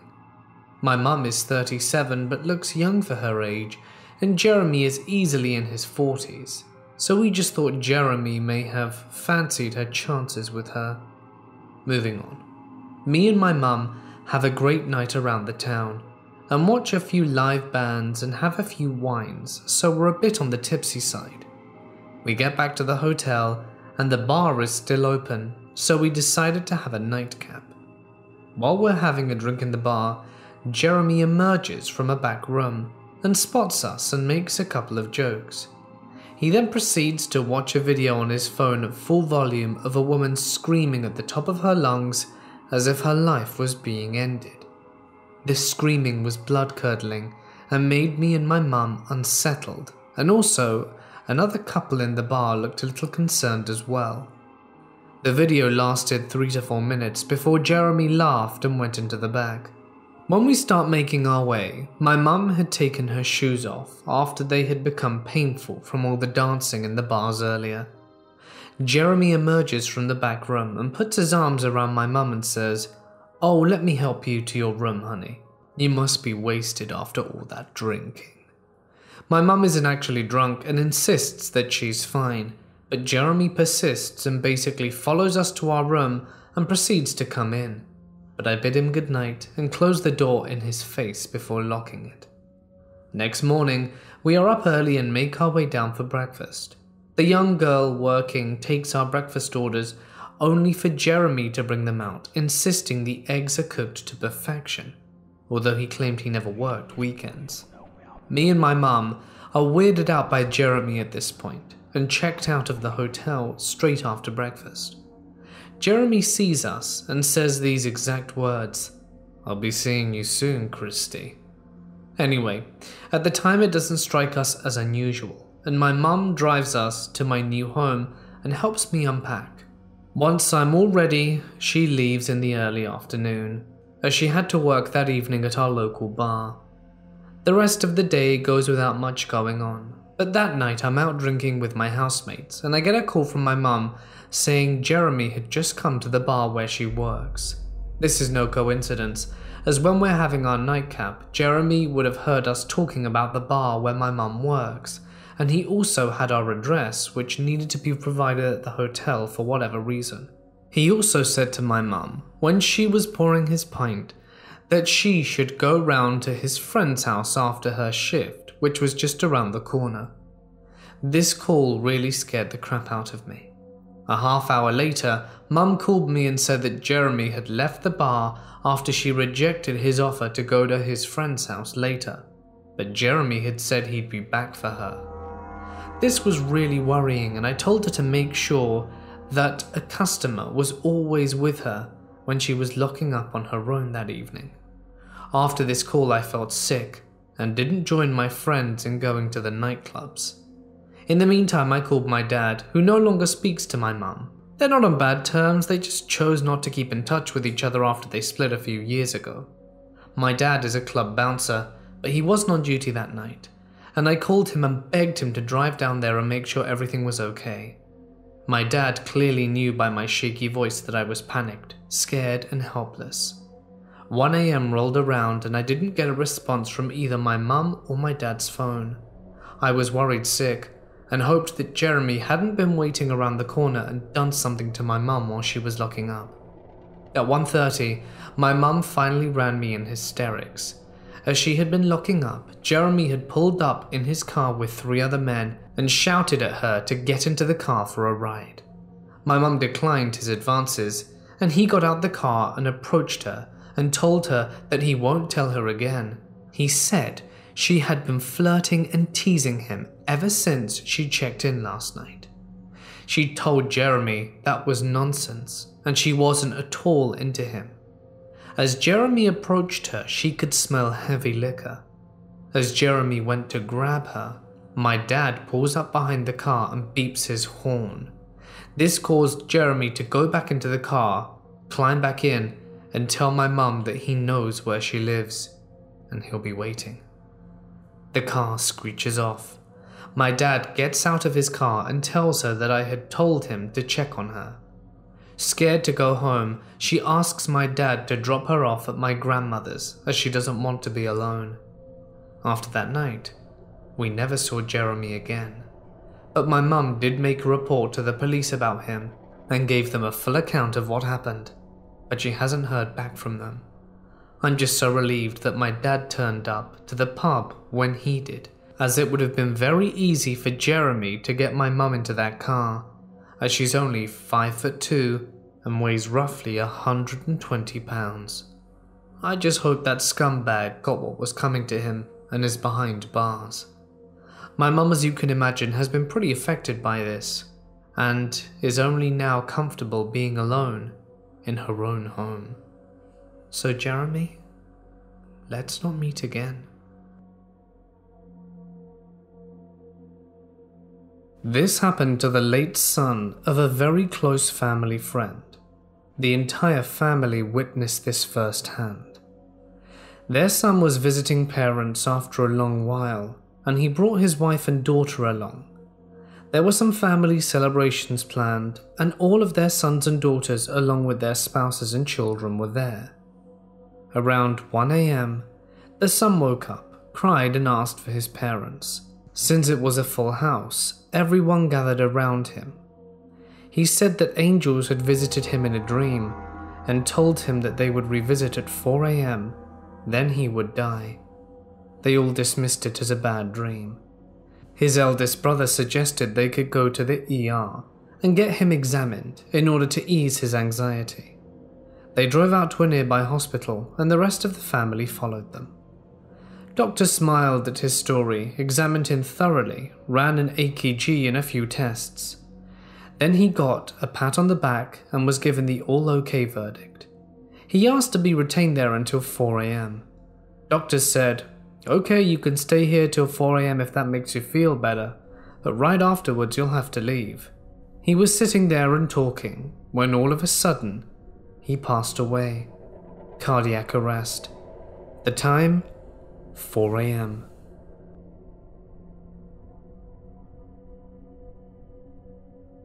I'm a guy from the UK. I live in a town in Wales, albeit not the little villages most people imagine. My town is a proper holiday destination along the coast of Wales. This isn't relevant to the story, but I just thought I would give everyone some context. So it started when I was around 15 years old eight years ago. I was dating a girl from about two towns over. I would usually get the train to hers and back. However, this one night her family weren't supposed to be home, and we were kind of being watched by her brother, who was about 20 and pretty chill. The plan was to stay the night. We were up late playing on the Wii, but her parents unexpectedly came home. I never got along with her mother, and the whole thing kind of got heated, and I was kicked out the house and told I could not stay over. It was about 2 am, and I didn't want to call my own parents in worry of waking them. My mother is a very strict woman, so I began the long trudge home. It was roughly an hour and a quarter worth of walking, so I was expecting to be home around half four. So I was walking along the concrete part above the beach and I stopped after about a half hour of walking, as there is a public toilet which is kind of run down but also open 24 hours to those desperate, which I was. I was expecting it to be empty or just have a homeless dude sleeping in it, but I was wrong. There was a guy using the urinal. This guy looked to be in his mid to late 50s, a little on the overweight side, but not morbidly. He had grey, messy-ish hair, but other than that, he looked pretty normal. He definitely didn't look homeless. I remember he made a quick joke about something, but I don't remember what. I politely laughed, did my business, and left. After about 15 more minutes of walking, the weather had gotten pretty bad. It started to rain heavily, and the wind was picking up. I seem to remember this was around November time, so it was pretty cold. I'm walking, and a car drives by, beeps, and pulls over just in front of me. I had assumed it was someone I know, but couldn't think who. I got in the car, and the dude from the toilets was inside. He asked me where I was heading, and I told him. He said that was a long walk, and I couldn't be expected to walk all that way in this weather, and he offered me a lift. In hindsight, I probably should have refused, but the weather was bad, and at the time he wasn't giving off any weird vibes. The drive took about 15 minutes, I think, maybe 20. The more I was in the car with him, the more I started to get vibes that there was something off. He was telling me his best friend was a 14 year old lad who stays over at his place a lot, and they drink together, and if I ever wanted to join in, I was welcome to. He was asking me some really invasive questions as well. I don't fully remember what they were. I just remember it's not the kind of questions you ask to someone that you're giving a simple lift home to. Anyway, we got to the street around the corner from my place, and I asked him to just drop me off there. I told him my house wasn't accessible by the road and that I would just walk the rest of the way home. He gave me his number and told him to ring him when I got back to my house safely, as he wanted to make sure I got home okay. I asked him what his name was. At this point, he knew my full name, and he just said, Pete. Pete what? My phone wants a surname. He wouldn't tell me. He just kept saying, just Pete. I later found out that Pete was a fake name too. Anyway, I got into my house and texted him just to let him know I was home safe. It was probably a bad decision, but back then I was full of bad decisions. The next day came and I was expecting everything to go back to normal. But it didn't, because I stupidly gave Pete my number when I texted him. I started to get texts from him every morning basically just saying good morning and wishing me well. I replied to the first few, and then started ignoring them. So that's when he tried calling me. Every single evening. I would ignore most of his calls, but he would often repeatedly ring until I answer. He was sending me these texts inviting me over to his house for some drinks, and he kept telling me He'd just gotten himself a pool table and wanted me to come and play with him. He was telling me a story of a friend he was playing pool with, the 14 year old one I was talking about, and accidentally let slip the guy called him John. I collared him on this and said, I thought your name was Pete. Oh no, my friend's name is John. You just said your friend called you John, and you told me your friend was called Tom. Oh, well, some people call me John. It's like a nickname. He hesitated saying this too, and it clicked in my mind that he was lying to me. I kept refusing, but he kept asking. After a while, my mum wanted to know who this dude who kept texting me was. I told her, and she rang him herself from her phone and told him that if he carried on texting and ringing me, she would be calling the police. I didn't get any more texts from him after that, but it didn't end there. I had a routine, you see, and he knew it. I always walked my dog at half four every afternoon and played with her for 40 minutes on the field at the end of my street, just near where he had dropped me off. I had started to notice his car pulling up there within five minutes of me getting there with my dog. He had tinted windows, but I would always notice the car lights were on and left on, and the engine was always running. I recognized his car and would occasionally notice the car door open and a large flash from that direction, as if someone were taking pictures. I started changing the time I walked my dog, but he would eventually figure it out and start showing up either earlier or later to coincide with me walking her. This went on for months. I never mentioned it to anyone, but one day it just stopped. He stopped pulling up on the side of the field, and I never saw his car again. No text messages or phone calls, it just stopped. I ended up getting a new phone after about a year and had that for another two. I dug out my old empty phone when I was around 18 to 19 after the aforementioned dog passed away. I had some old pictures and videos of her on that phone and wanted to transfer them over to my PC so that I always had them. I turned on the phone, which had been off for several years now, and still had the old SIM card in it. That's when I got my final message from Pete. It was an old one and was about 14 months old. It said something along the lines of Hi, I know we haven't spoken in a while, but I've just thought you should know that over New Year's I was diagnosed with an illness and I've been told I don't have long left. You were such a good friend in the short time we knew each other. I live at, and he sent me his address, and would really appreciate it if you could come around just so that I could have one last chat. I've got some beers. If you want to stay the night, you can. Just drop me a line if you want to come round so that I can get everything ready for you. See you soon. No idea if Pete slash John was genuinely ill or just trying to lure me to his house. I've never been to the address he sent me and never responded to him or heard from him since. I didn't reply to him, and that was the last I heard from the guy. It certainly had a big impact on me during those years. I don't know if he's gone, but I do know I never would want to meet him again.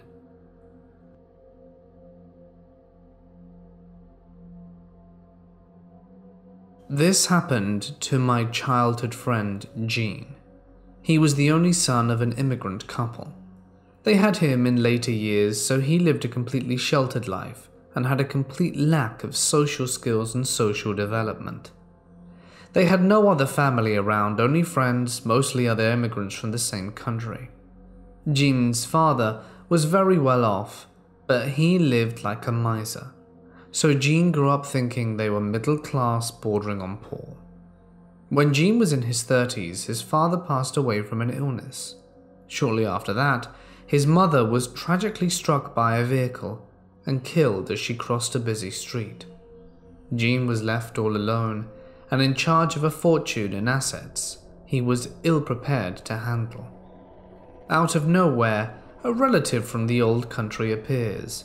She was young, attractive, and a lady, supposedly a distant cousin. Soon she was seen with Jean here and there, not too often, but often enough that people began to notice. Three months later, Jean simply vanished. No one knew where he went, why he wasn't around, and now the cousin had control of the fortune. Another friend of the family got concerned and called the local police to report him as a missing person. The guy in charge told the friend to never inquire again about Jean, to better leave this matter alone. No one knows what happened to Jean, but several of us have several guesses.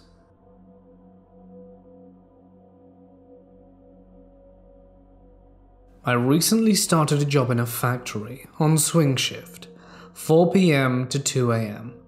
I'm only two weeks in, but I can say right now that I do not feel safe there. I'm already an unimposing trans guy in a small conservative town, and I'm at the point where it's difficult to be stealthy, aka easy, obvious target. I also made the mistake of telling everyone that I used my preferred name but didn't correct them on calling me she or her. I figured that correcting them on pronouns would make it even more obvious that I do not belong. Last night was my second night completely on my own, my first week was training on day shift. I got in the car and headed home around 2:15.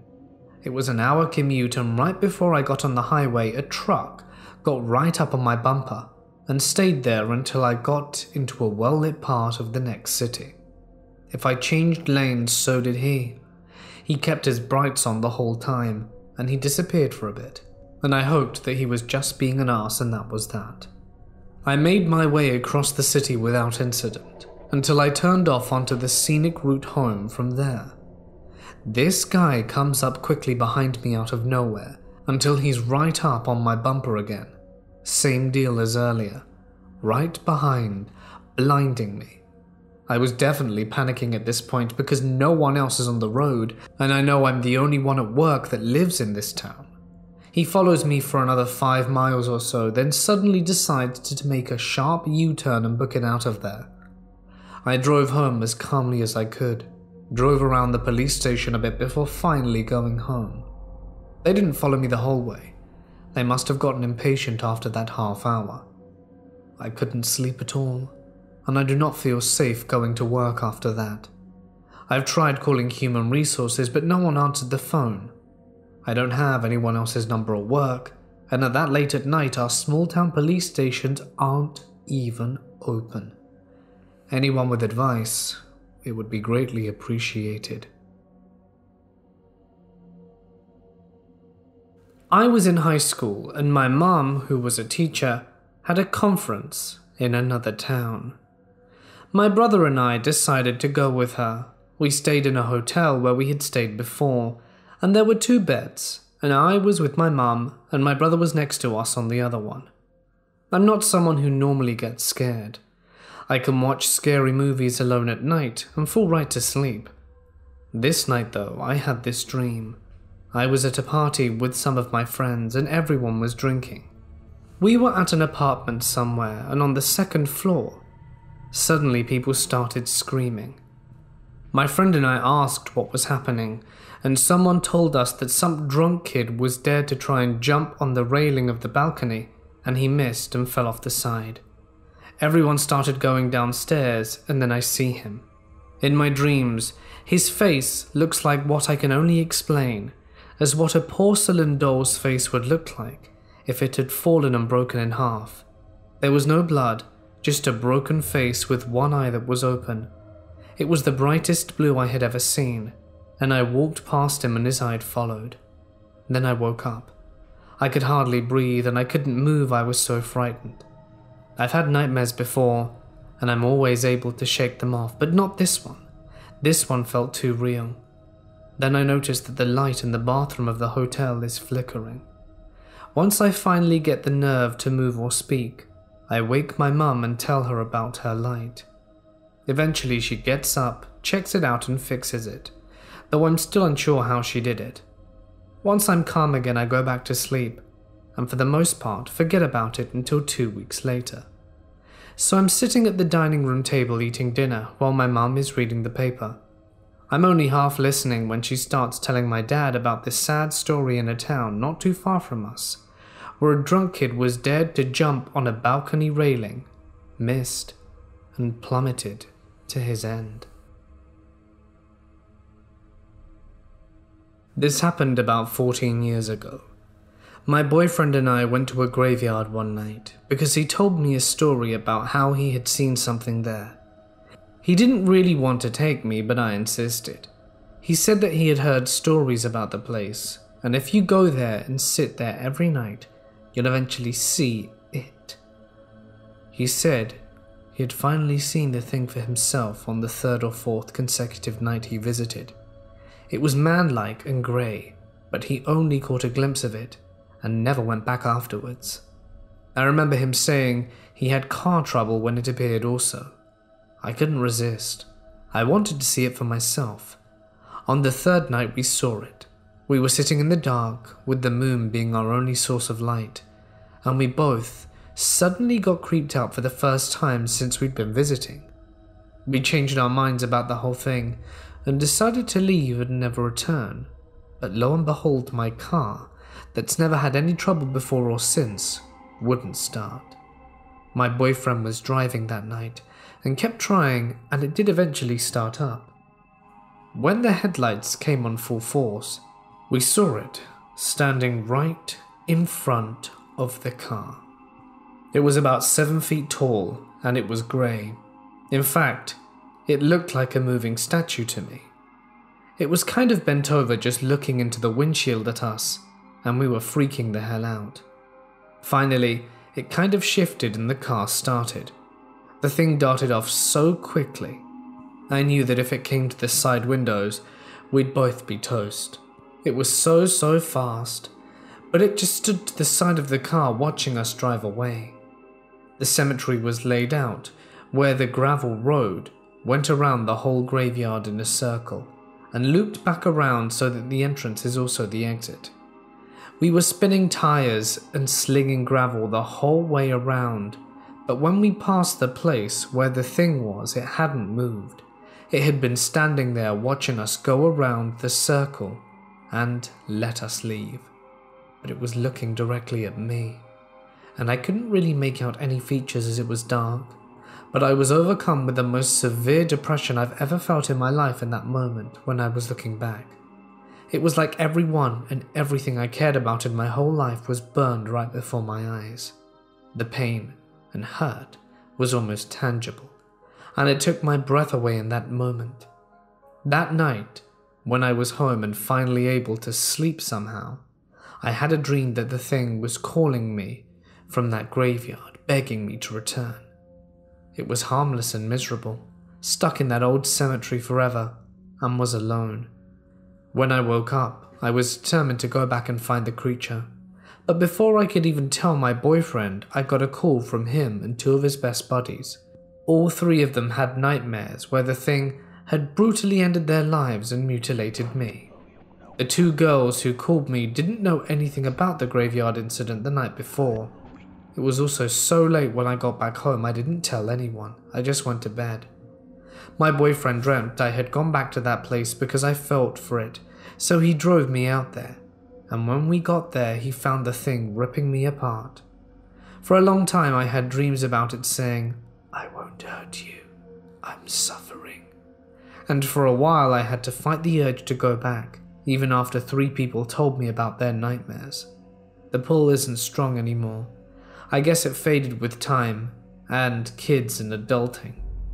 But I do think about it often, and do kind of get a little itch just to drive through, and I don't know. It would be dumb as hell, but there's always been a little nagging voice that whispers about the thing we saw that night. It had a masculine physique but no genitalia, and its eyes were completely black. No iris, no people or anything, just black inky nothingness. I've been searching all these years, but the only pictures I've ever seen that look remotely like it are wendigos, but not the ones with fur or antlers, just a greyish humanoid thing. The best way I could describe it, I suppose, would be more like a statue. Does anyone have any idea what this could be? It's bugged me for nearly two decades, and any suggestion would be appreciated.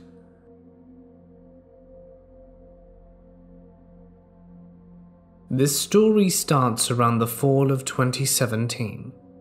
I was walking back down to work from lunch when I passed this girl and noticed she got up and began to walk behind me. She took a different route and didn't follow me, and a few days later it happened again, but this time she was following me.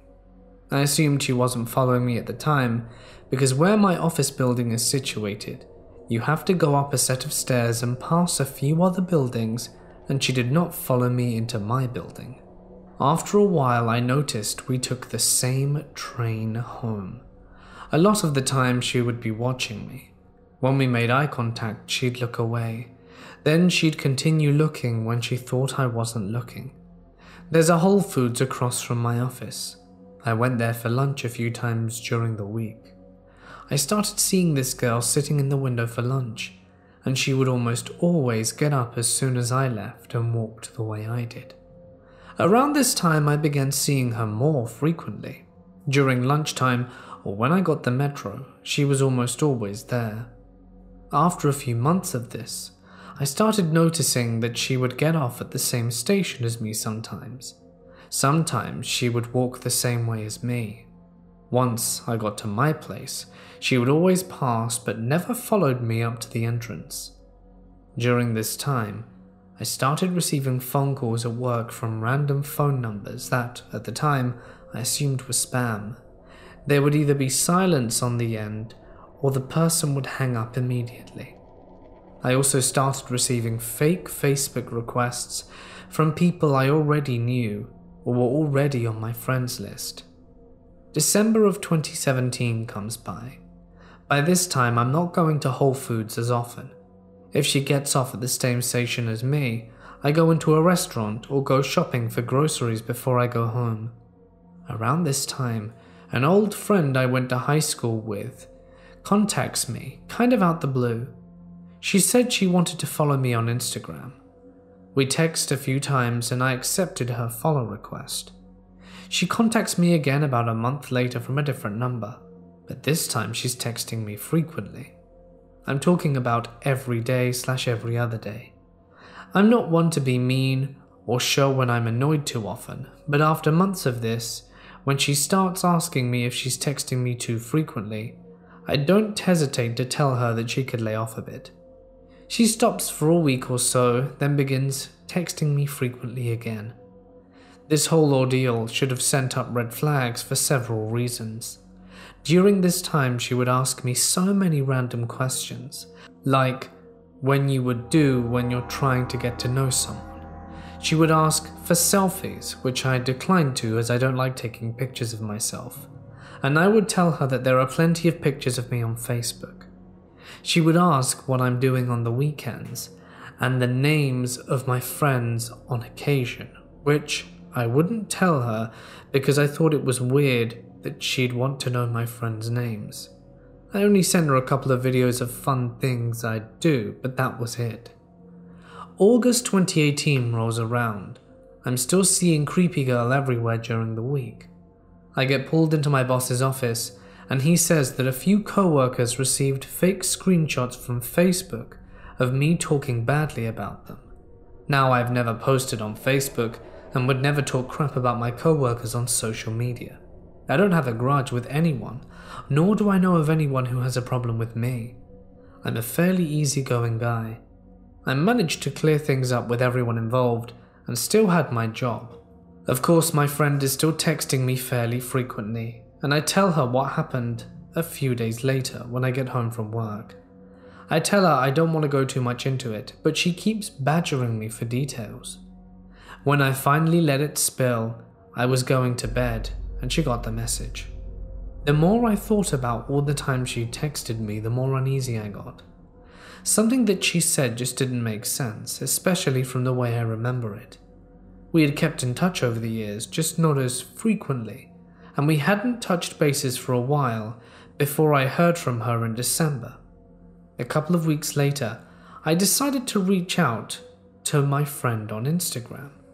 But the Instagram she last messaged me from wasn't there. However, there was still an Instagram for her that I followed and that followed me back. I reached out to her and asked her what a phone number was. The phone number was completely different, and it turns out she was never the one texting me, nor did she request following me on Instagram. I tracked the number, and it turns out to be from one of those fake phone number apps. I requested to be blocked from the service, and I never heard from my friend again. After talking about it with my brother and a few friends, I'm almost certain it was the girl that'd been following me. These things only started after she appeared the phone calls to my office, the fake Facebook friend requests, and a few days before I was pulled aside by my boss, my friend texted me and told me she had a weird feeling about me and wanted to make sure I was okay. I just thought she was being weird at the time and tried not to think too much of it. This whole ordeal is really scary when I looked back on it because I sent videos of myself and my address at one point. My friend even confirmed a post my brother made with pictures he tagged me on on Facebook I was texting a stranger for eight months about my life, and they also apparently have access to my Facebook page. I still see this girl since she obviously works in the same area as me. She doesn't follow me around as much, but when she does see me on the metro, she always watches me or sits somewhere she'll be able to make eye contact with me. I'm always careful now if anyone texts me from an unrecognizable phone number, and I'm just paranoid. I know this story might seem a bit all over the place, especially with the conclusion I came to of the girl posing as my friend, but I had to get this off my chest. So, creepy girl who's been following me, staring at me, and most likely catfished me. I don't ever want to meet you again. I really don't know why I didn't suspect my friend wasn't really her at the start. She obviously had my phone number, and she knew my mom and brother's name, where I went to college, and the fact that we went to high school together.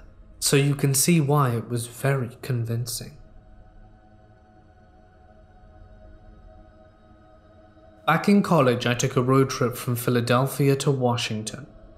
I was driving through the Midwest, but I can't remember where exactly. I drove through the US multiple times, and I can't remember if this happened on the upper or lower routes I'd taken. If I had to guess, I'd bet that it was Wyoming. It was late at night on an empty road. I was cruising at a decent speed, my car was working fine, and I had adequate snacks and water, and I was just jamming out to some CDs. Life was good, when I suddenly got an overwhelming feeling of something weird happening around me. I couldn't see anything besides the road. There were no mountains visible, the sky was overcast, and the only thing in existence seemed to be me and what was illuminated by my headlights. It was then that I saw another car. The only car I'd seen for a few hours, which stood out due to that it was a pickup truck with lots of rust around the back, and it had one of those cabin things on the bed. The covers with the windows. I don't know what they're called that looked half busted with duct tape all over the window part. I hadn't seen it prior and would have known it was driving in front of me too, and there were no connecting roads. So it must have come in from either the grass or off the shoulder where it had been parked. Anyway, I'm still cruising, but it was weird. I remember being frustrated because the guy in front of me was slowly reducing his speed, and thus mine. I considered passing him, but it was only two lanes and I didn't really want to do it in the dark, so whatever. It hit ahead when I noticed that in front of us there was a tiny forest all around the road. It stretched on for maybe 300 yards, and half of that away from the road, but covered it on both sides. The guy in front of me kept slowing down, but when we approached this point, he really started slowing down, almost like he intended to stop. This was not good. I suddenly passed him and sped up like a bat out of hell, putting everything in my trusty Crown Vic into action. I saw out the mirror that the truck ended up stopping and pulling off to the side completely, as I'm flooring it and thinking I must be paranoid, and the guy might need help. I see a van slash truck, one of those big box types, parked in the trees off the road, and some shadows of people walking in front of it. I wasn't going to stop anyway, but that kept me from even thinking about the idea. Woke me right the hell up. Occasionally I do wonder what the hell they were up to. When I was pretty young, my mum would take me into the country and to an old couple's house where I would be babysat. The couple's names were Carol and Roy really amazing and sweet people who had an old swing up back and games for me to play. I don't remember much as I was around three to four years old at the time, but I recall how the house smelled. That old people smell. And playing Hungry Hungry Hippos on the living room floor. Obviously, as I got older and naturally didn't need a babysitter quite as often, we fell out of touch, only reaching out every few years or so. Fast forward to high school, and I'd been sent to live with my dad because I was rebelling pretty hard against my mum at the time. I grew up very poor and was starting to realize I didn't want to be in this situation anymore, that I wanted more out of life. This caused a ton of problems at home, but my relocation changed my life for the better. After I straightened my act up, I went on a sort of apology tour to all the people who used to know me when I lived with my mum. I felt like I needed people to know that I wasn't a bad person and that I had actually changed for the better. I hadn't thought about my old babysitters because they only knew me when I was very little. And as it goes, one morning I was getting ready for school and throwing on a pair of pants when in my head I heard my own voice say, Carol and Roy have passed away. I stopped what I was doing because it didn't seem like I had thought it at all, like the words were just put there out the blue. I was really freaked out, so after school I called my mum immediately. I asked if they still had their number, and she asked why. I just told her that I knew something was wrong and that I should call and check on them. I had such a dreadful feeling. But then my mum called me back and said Carol and Roy are fine. I told them you wanted to see them again, and they said for you to come over next week. I was dumbfounded, because I couldn't explain that awful premonition I had, and the terrible feeling that came with it. I just thought, oh well, I guess I'm nuts. I'll go see them next week. A few days pass, and it's the day before I'm supposed to go over to their house and hang out with them. When I get another call from Mum, she said she had just called to confirm plans, but Roy answered saying that Carol had collapsed in the bathroom the previous night and passed away from a massive heart attack. I was absolutely floored. I told you I knew something was wrong and you didn't believe me. That's what I said. I don't know if Roy is still with us. Mum called back once and he was crying, and he was saying how hard it is to sleep alone without her next to him. For many, many years, she would end the night with, I love you. And now, she was gone.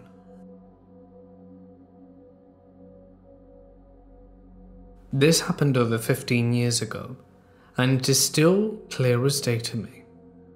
It took me around six years to share this with anyone, as I was in fear that it would return. I was staying with my parents at a hotel in South Florida with a friend of mine. We had a Pop Warner football jamboree the following day. I wouldn't really call it a hotel, more like a Days Inn. I'll try to be as descriptive as possible. You ever get the feeling that something is watching you? Or trying to get your attention without making a sound. This feeling was so intense and hit my gut so hard. The feeling mostly made me nervous, and this is what woke me out of a deep sleep at 3 or 4 am. I sit up in bed and immediately get that awkward feeling. I look around the room and see my parents sleeping to the bed closest to the entrance of the room. My friend and I are on the bed closest to the window. The only thing bringing a little bit of light into the room is the alarm clock and the crack under the door to the main hall. While I'm looking around the room, I'm drawn to the window next to the bed. It looks open because the curtains are moving, but it's a window that can't be opened. About 15 seconds go by, and I can't stop looking at the window. I become so nervous and worried for some reason. Similar feeling to when you know something bad's gonna happen. Kind of like going on a scary ride for the first time, but 10 times scarier than that. Then, out of nowhere, this object appears at the window. Keep in mind, we're on the fourth floor at this point, and it's hard to describe this figure. But the best way I could describe it would be comparing it to something. At the moment, I knew nothing about the Grim Reaper, but if I had to compare it to anything, it would be that. It was a cloud, very realistic in shape, taller than a grown man. It didn't have a scythe, it was just itself. The feeling I got is something I'll never forget, and like I said, words can't describe it. As it came slowly into the room, it made its way to the front of my bed, then stopped. Now facing the door entrance to our room, I could sense it knew I was watching or seeing it.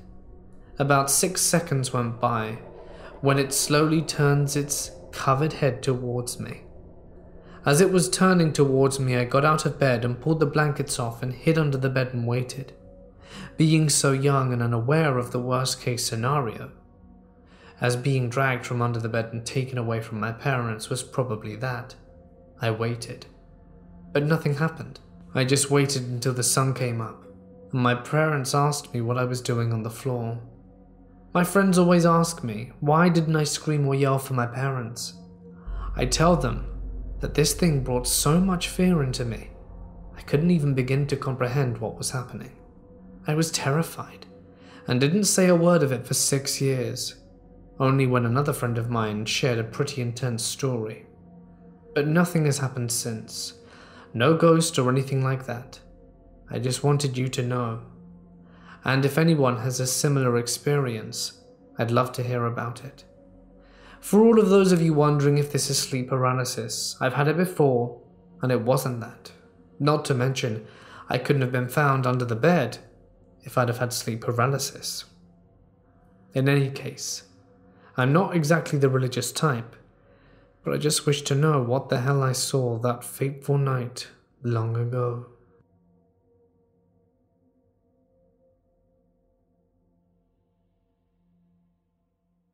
When I was a little kid, around first or second grader, usually my mother picked us up at school and brought me to her office.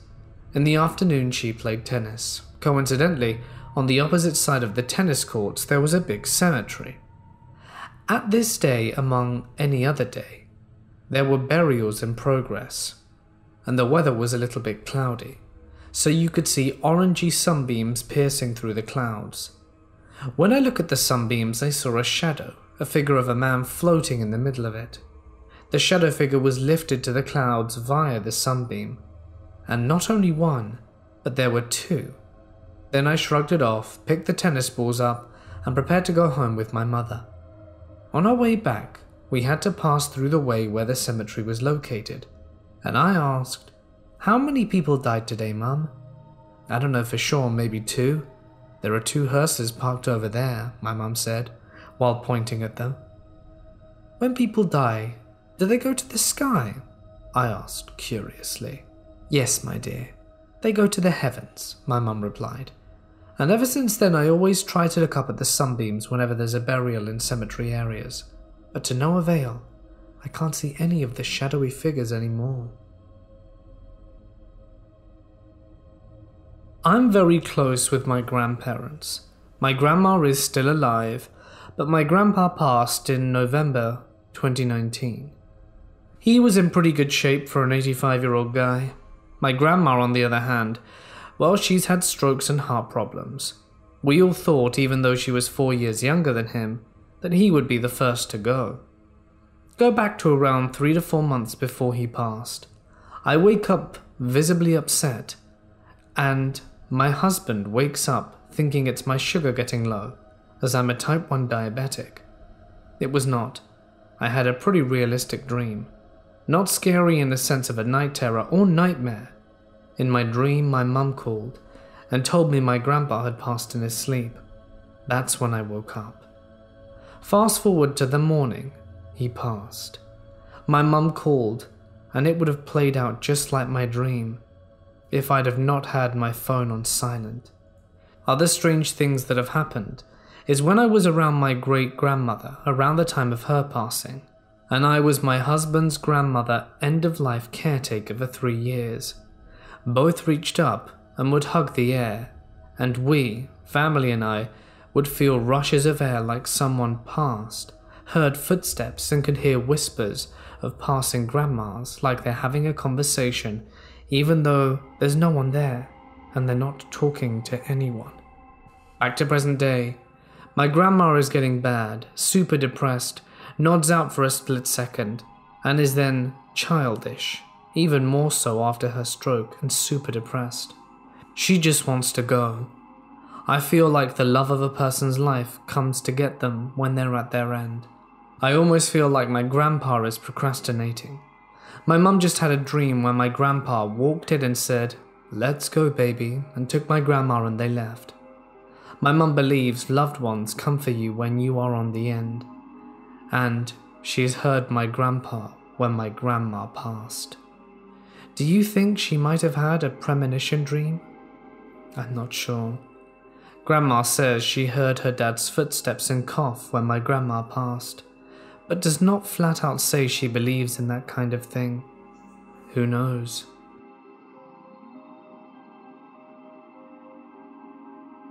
When I was 15, Ray William Johnson was the most subscribed YouTube channel out there. I feel it necessary to say now that he was not the YouTuber that this story is about, but I feel it's important to include it for context. Doing some research before sharing this, he was the first YouTube channel to reach 5 million subscribers, so he was very popular at the time. In his show, he reviewed viral videos and as a teenager, it was one of my favorite things to watch. Every week, he picked one subscriber video to provide the comment question of the week, to which his subscribers would provide responses in the comment section. A friend and I thought we had a great question featuring her new baby iguana to ask and sent it in every week after filming it. By the fourth or fifth week, our video was selected and aired on that week's show. In hindsight, there definitely wasn't that much traffic coming into my account, but at the time it really felt like it. I had 30 some messages in my message box at the time, and quite a few comments on the original video. I can confidently say, let's not meet to anyone in that comment section, garnering such classy comments such as, I'd tap the both of you at the same time.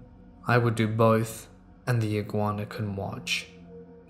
My friend at the time was 13 years old, and my message box did not look much different. Now, as a teenager with low self esteem, I was pleased with a lot of this new attention.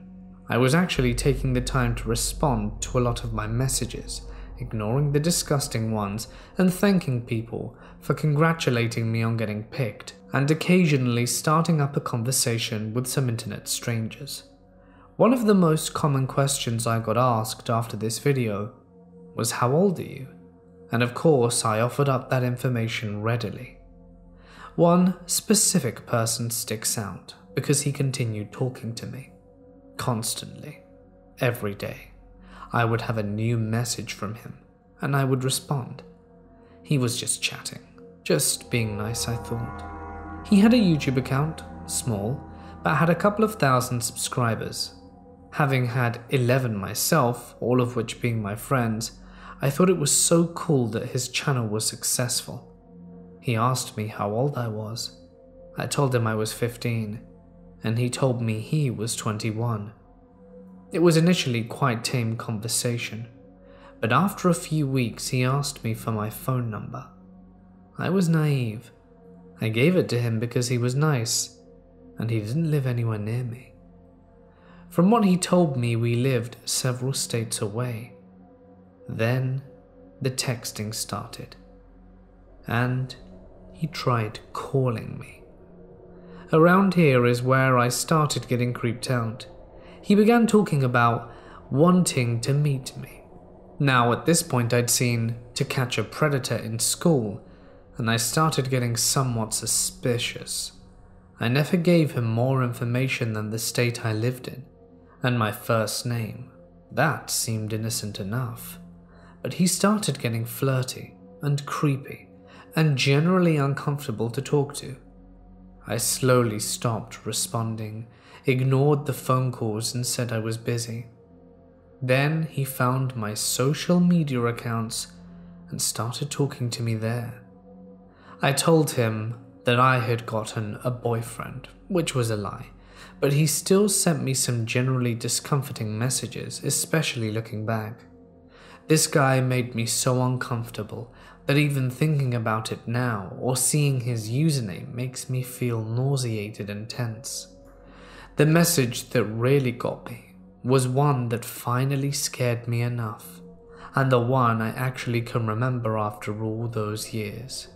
It said, I'm coming to Ohio and I'm gonna find you. And when I do, I'm gonna hug you so hard I'm gonna squeeze until your eyes pop out your little head. Smiley face. I never told my parents, but I was lucky enough to be able to get my phone number changed. I started getting paranoid that he would find me, checking the locks, closing the curtains.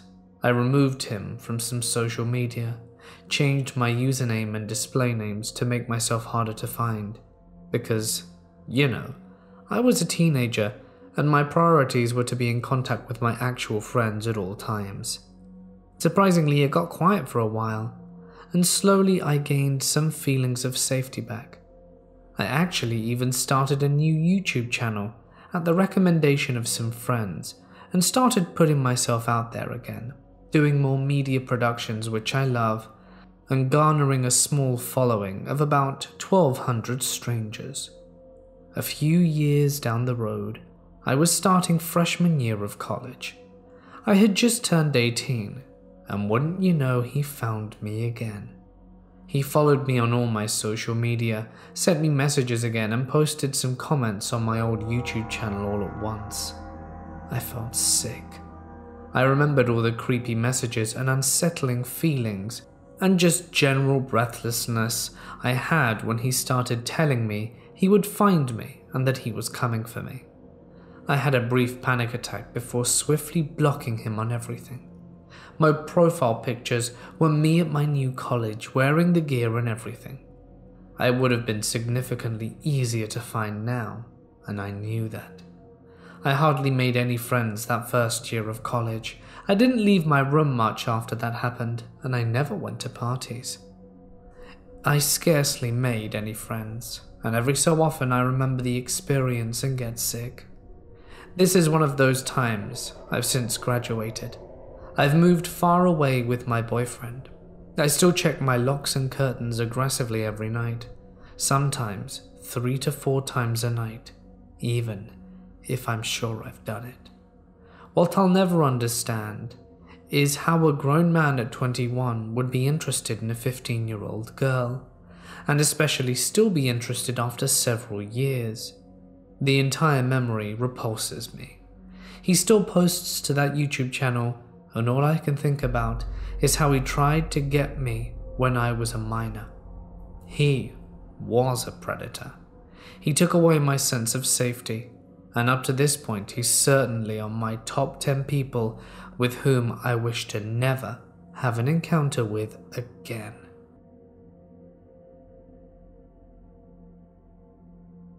When I was in seventh grade, my parents decided to take a three week long summer trip to Europe.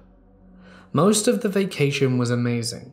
After all, I was a child in a different continent, and some people never get that chance to travel ever. But while I was in France, some things went down that I have thought about for years, and that still give me chills. We were staying at a pretty nice hotel. I don't remember much except sharing a room with my little sister and my parents sharing the other. But one night my parents went out to eat and said that I should take my sister to the hotel's indoor kids area for an hour and then go back to the room. So I did that. While at the play area, I watched my sister. Other people were there, mostly adults, all of whom I assumed were watching their children.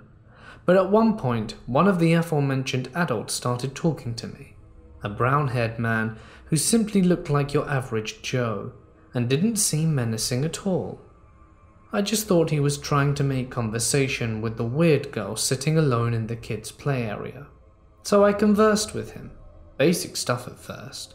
How I liked traveling and where I came from. Then it got a little more personal. How old I was. Where were my parents? And was another sibling with me? When he asked these questions, he would take his phone out and slightly point at me. But being a dumb middle schooler, I didn't stop talking or leave.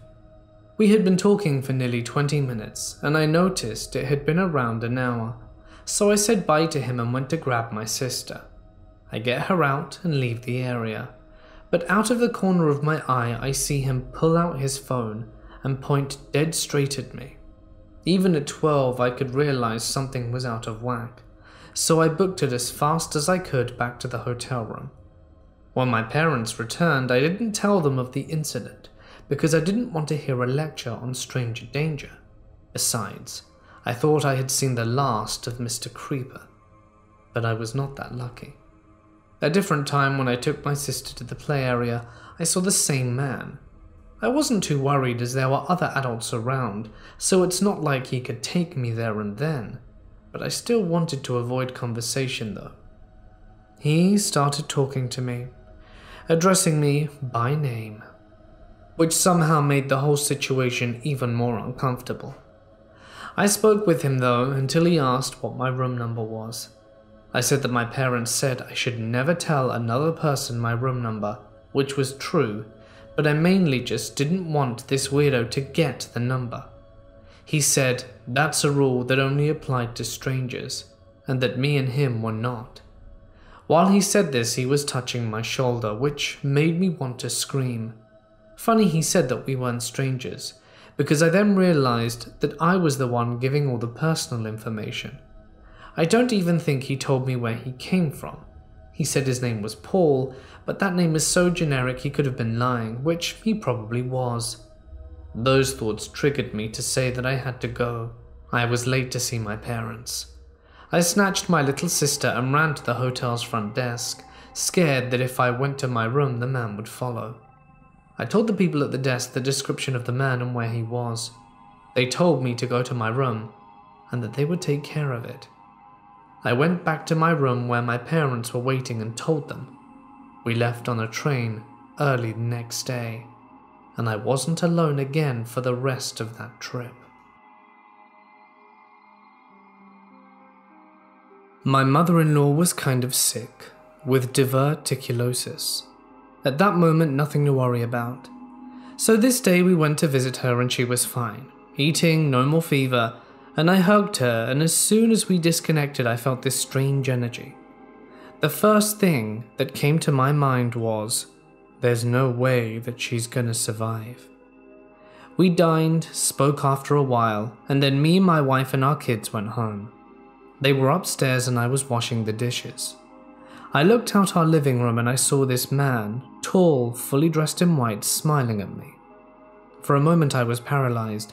I looked at the dishes I was washing, and then he was gone.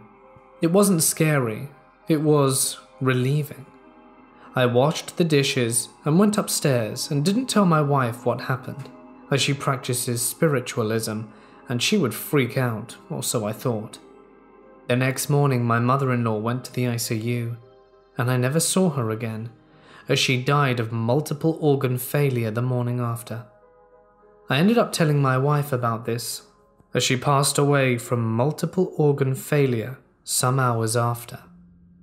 I ended up telling my wife about this a few hours before her mum passed, and she said the night I felt that thing and saw the tall and slender white dressed guy her uncle actually incorporated some spirit that said that was her last night, and she felt the exact same thing I did. I don't know how I feel about these kind of things. I'm somewhere in between an atheist and someone who believes in a bunch of unexplained things, as I've had my fair share of creepy experiences.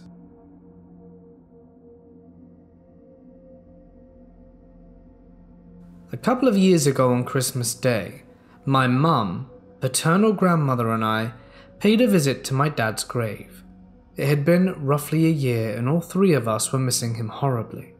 We parked the car, walked to his grave, and stood there in silence. As I stood there with my head bowed, I silently said to myself, Dad, I miss you. Show me that you're still here and watching over me. Not immediately after, but perhaps 30 seconds after having said that, a strong gust of wind blew, strange for an otherwise calm sunny day. A small cyclone of leaves formed around a few feet behind where we were standing and made a straight path to the car that was parked about 40 yards away. As soon as it reached the car, it was gone. We didn't think much of it. But we said our goodbyes and walked back to the car. What we found will always stay with me. By my door a penny dated 1998.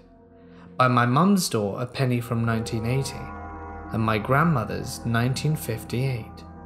The significance behind these dates? 1998 was the year he passed, and I was the last one to hug him that night before he went to work. 1980 was the year him and my mother got married, and 1958, that was the year he was born.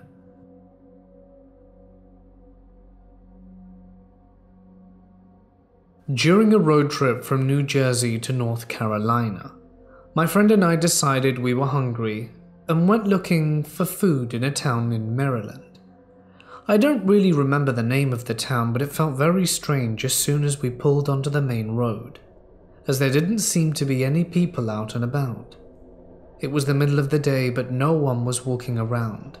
There weren't any restaurant food options other than the pizza place, so we pulled up and parked in front of it.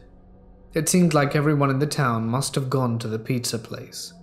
And when we parked the car, everyone in the restaurant turns and looks at our car through the big glass windows. Like at the same time, they stared at us, we stared at them.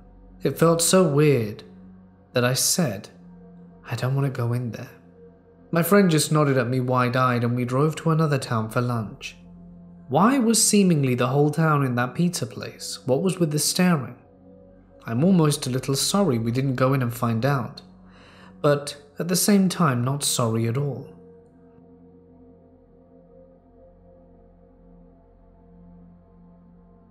I woke up at night for a glass of water. I walked into the kitchen and ran into my dad. He walked right past me to the front door, didn't even acknowledge me being there. Where are you going? I asked him. He didn't say anything and just had a blank stare and walked out the door. I walked over and looked out the window, looked through the peephole, and we had a small walkway that connects to our driveway. He was sitting on the hallway hunched over, elbows on his knees under a big tree. That was in front of my bedroom, just staring into nothing. I walked into my mum's bedroom and asked her why Dad was outside. She turned over and said, What do you mean he's right here?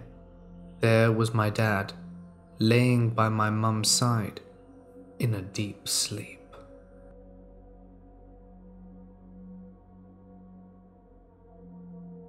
I used to really enjoy driving around at night, especially because round where I live there are lots of country roads and they were fun to zip around.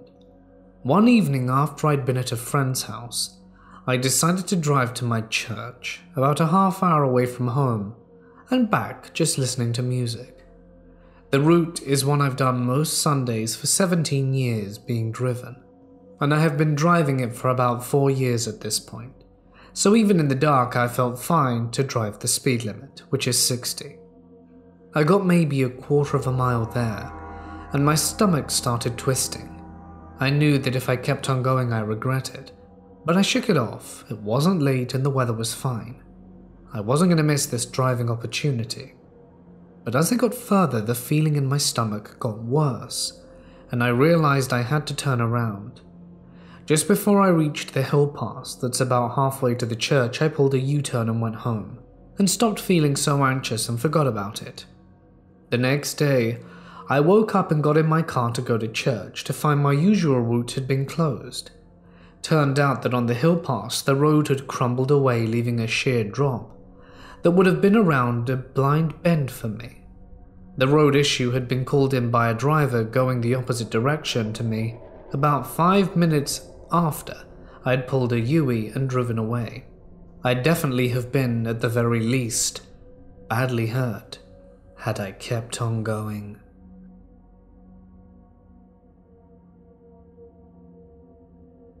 My family moved into a new home about four years ago, and I've always had an off feeling about the house, but I put it down to paranoia. I woke up in the middle of the night with scratches all over my body, but I had no reason to think I wasn't doing it in my sleep. I moved on to being a college student living on campus. I haven't woken up with scratches once.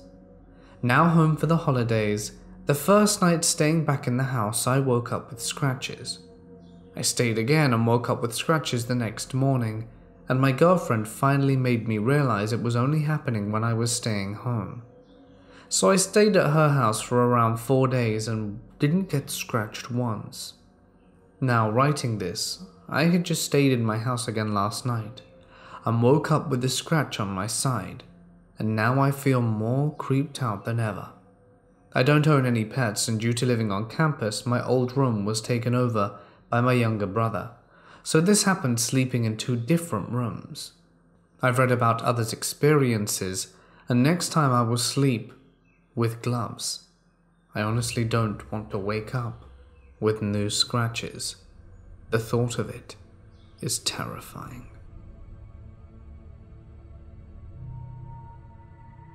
It was about 1:45 p.m. in Houston, Texas. I was driving to my job as a nanny about 15 minutes away from my house. Currently, I was less than a minute away from my house, in my car waiting at a red light. The light turned green, and I accelerated as you do. While I was reaching the end of the intersection, and a car from the cross lane of traffic ran his red light and darted in front of me. So quickly, I didn't have any time to brake at all. I hit him going at roughly 15 to 20, and immediately he got out his car and gestured for me to unlock my passenger side door, which I did because I was frazzled, having just gotten into a car accident. He immediately opened his door and started spinning a tale. Listen, I'm an off duty police officer chasing a suspect. Didn't you see me? No, I said, because he hadn't been chasing anyone. Traffic was slow since we were in a residential area and no other cars had decided to run a red light. Didn't you see my lights? No, because he didn't have any lights. He was in an older model SUV or minivan, not a police car. Keep in mind, he also wasn't in any sort of uniform, just a blue shirt and jeans. He was very thin, between the ages of 40 to 50, and had no police gear with him. Well, I can call 911 and have you arrested, he said. I had right of way, I told him since my light was green, and I'm gonna need to see some ID. I'm proud to say that I, despite being a short girl, was decidedly unfriendly. I am absolutely not trying to get scammed on my way to work, bud. He gave me a look like, wow, I can't believe this idiot is asking me for ID. Listen, I'm undercover. I'm with the feds. So, in the span of 30 seconds, he's risen from a member of the Houston PD to an undercover federal agent. Right. I'm gonna need to see some ID. I'm undercover. My life and operation will be at risk if you don't comply. Your life is in danger. There are people watching me right now. I stared back at him unimpressed.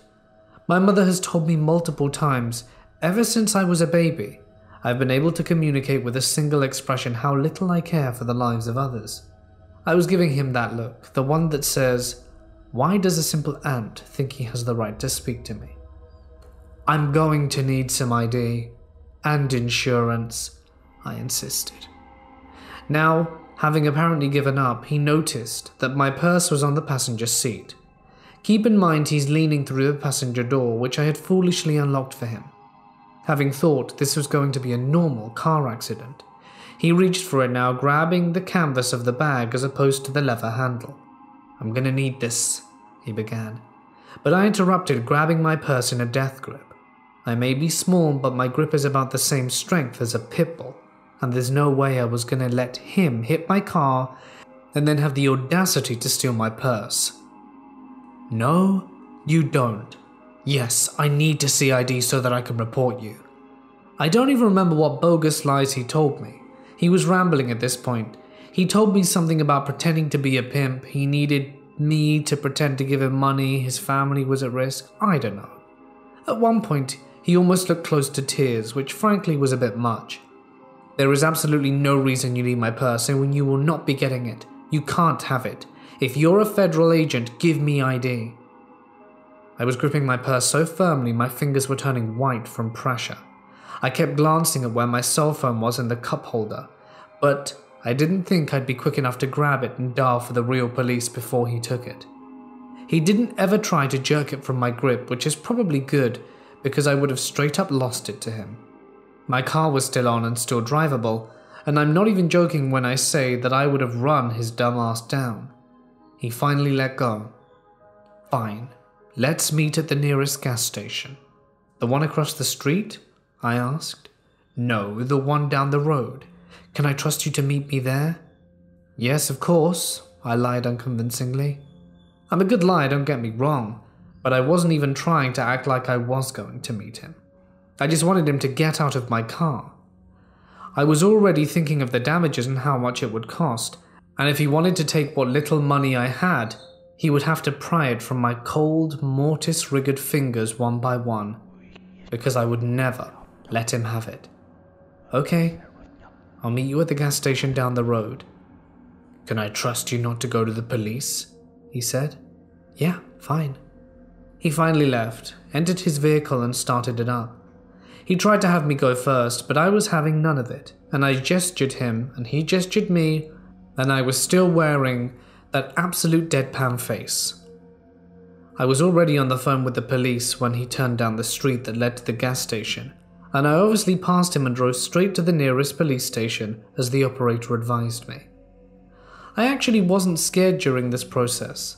I'm someone who tends to get unnaturally calm during a crisis, but I was completely calm while making the statement with the police not 20 minutes later. But of course, as soon as I walk out the police station, I just broke down sobbing. I wouldn't say this is the scariest thing that's ever happened to me, but it was scary because I'd recently moved to Houston, and all my family and extended family lives in Washington state, so I felt alone. I live with my aunt and cousin, but I have three siblings and 15 cousins and 17 aunts and uncles and a whole host of extended family in Washington, and I never realized how safe I felt in my small town until I was almost robbed in the big city. Also, since I'm paranoid and listen to a lot of true crime media, I parked my car a few streets over from my house and walked home. He had mentioned something about me living in the neighborhood that was within walking distance of the car accident, as well as trying to convince me I knew him somehow, which was strange. And also stupid, as I legitimately don't know anyone in Houston.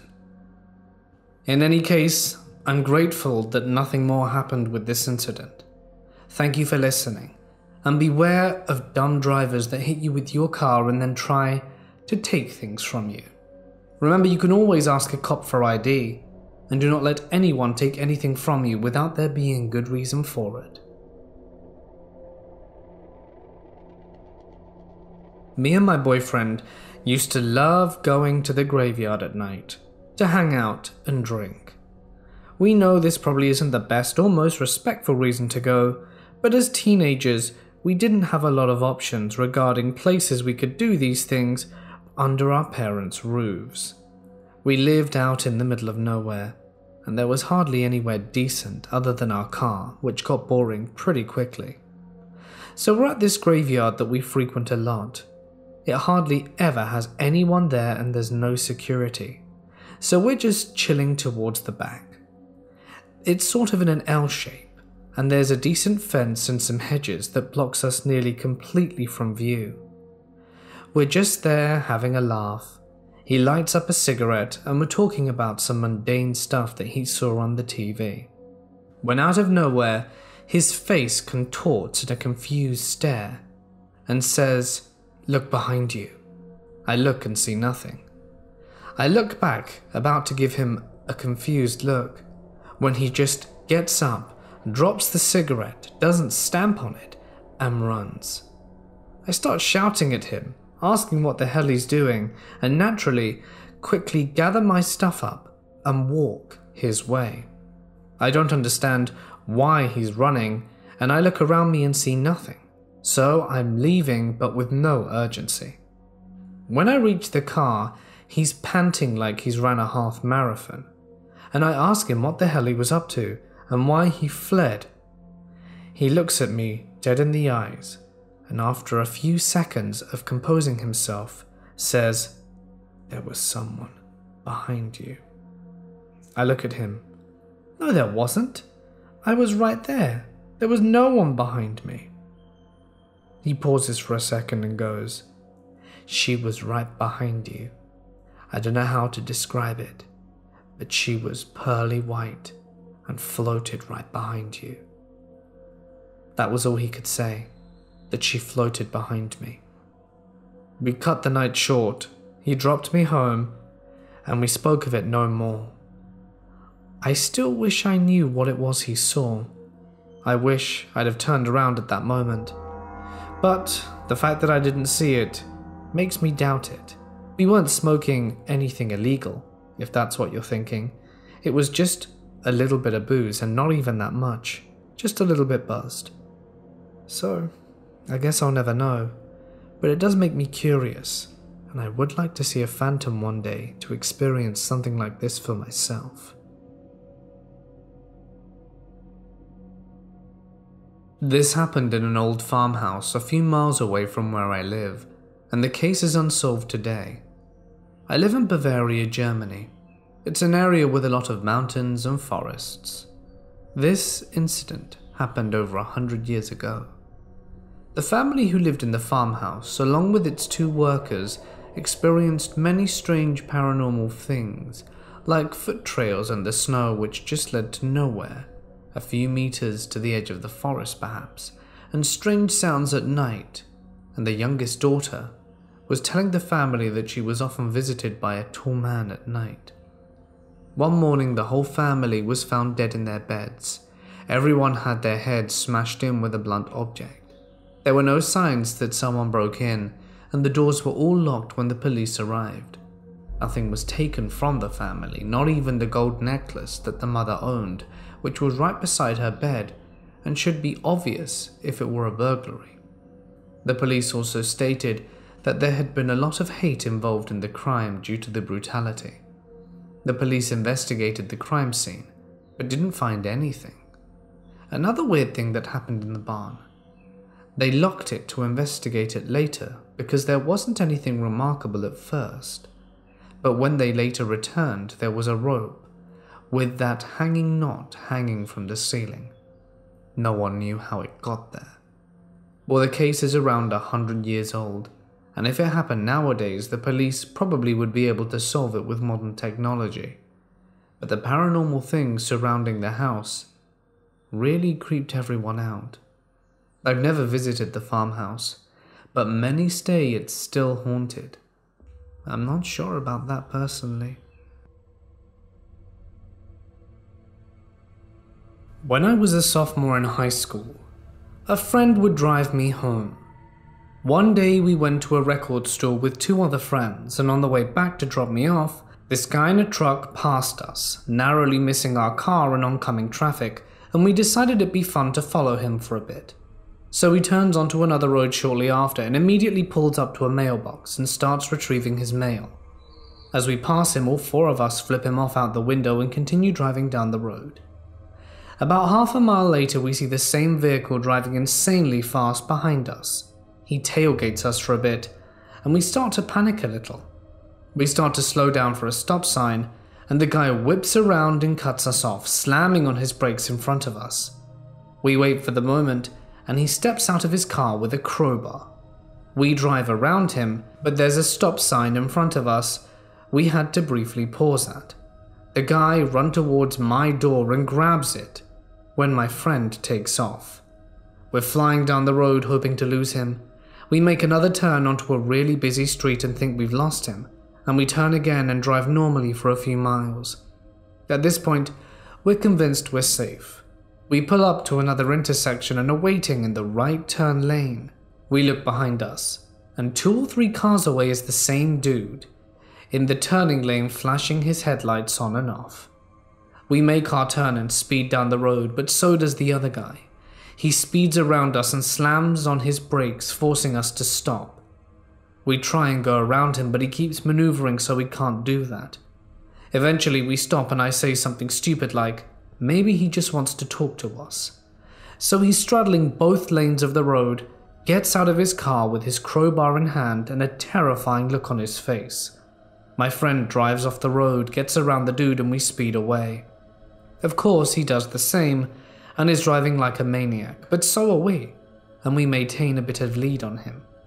We make another turn and there's a school bus in front of us, just about to stop. We speed around it just in time for the bus's stop sign to extend, and for some reason the dude actually stops behind it and we speed off. We were close to another friend's house, so we pull into their driveway and into the open garage.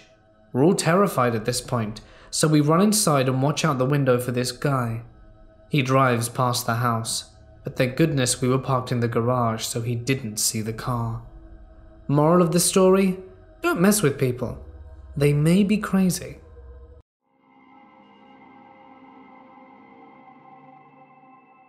Me and my friends love to go exploring out in the middle of nowhere. One friend had a tip off that there was a really cool and undisturbed place an abandoned graveyard complete with several mausoleums that could be ventured into. He said that one of them had the door unlocked, courtesy of one of his other friends, and that it was a cool place to look around. really big, and obviously the people who perished here had lots of money, which is uncommon in this part of where we live. So one evening we made our trip out. It had to be night, you see. We brought with us several decent flashlights and a couple of beers just to keep the buzz coming along. We were walking around, chatting and chilling, and we got to this creepy gate. It was unlocked, and we made our way in. We made sure to be respectful in the graveyard, but really wanted to see the mausoleum. When we were getting there, one of my friends, John, was walking around behind the mausoleum. We paid him no mind. He's old enough to look after himself, and we were sure he'd be okay. I was looking inside. The detailing inside this crypt was incredible. This person must have been really loved, I thought. This was the kind of stuff I was thinking when, rather quickly and unexpectedly, do we hear a cry. We run out from the mausoleum, and it seems that John has fallen into a grave. I didn't even know that could happen. Turns out this graveyard was really old. What happened exactly is that he was walking and he felt someone pull him, and at that moment he fell straight onto the ground. But the ground immediately gave way and he fell. We were worried he might get tetanus or something, but there was nothing wrong with him. He didn't cut himself on any of the wood. We're pretty sure that the old coffin had pretty much been destroyed by termites and he'd fallen almost through it. It was a creepy experience, no doubt. In truth, if he hadn't fallen on his hands, he probably would have gone further down, but it was unsettling nonetheless. He never came back with us when we returned to explore again.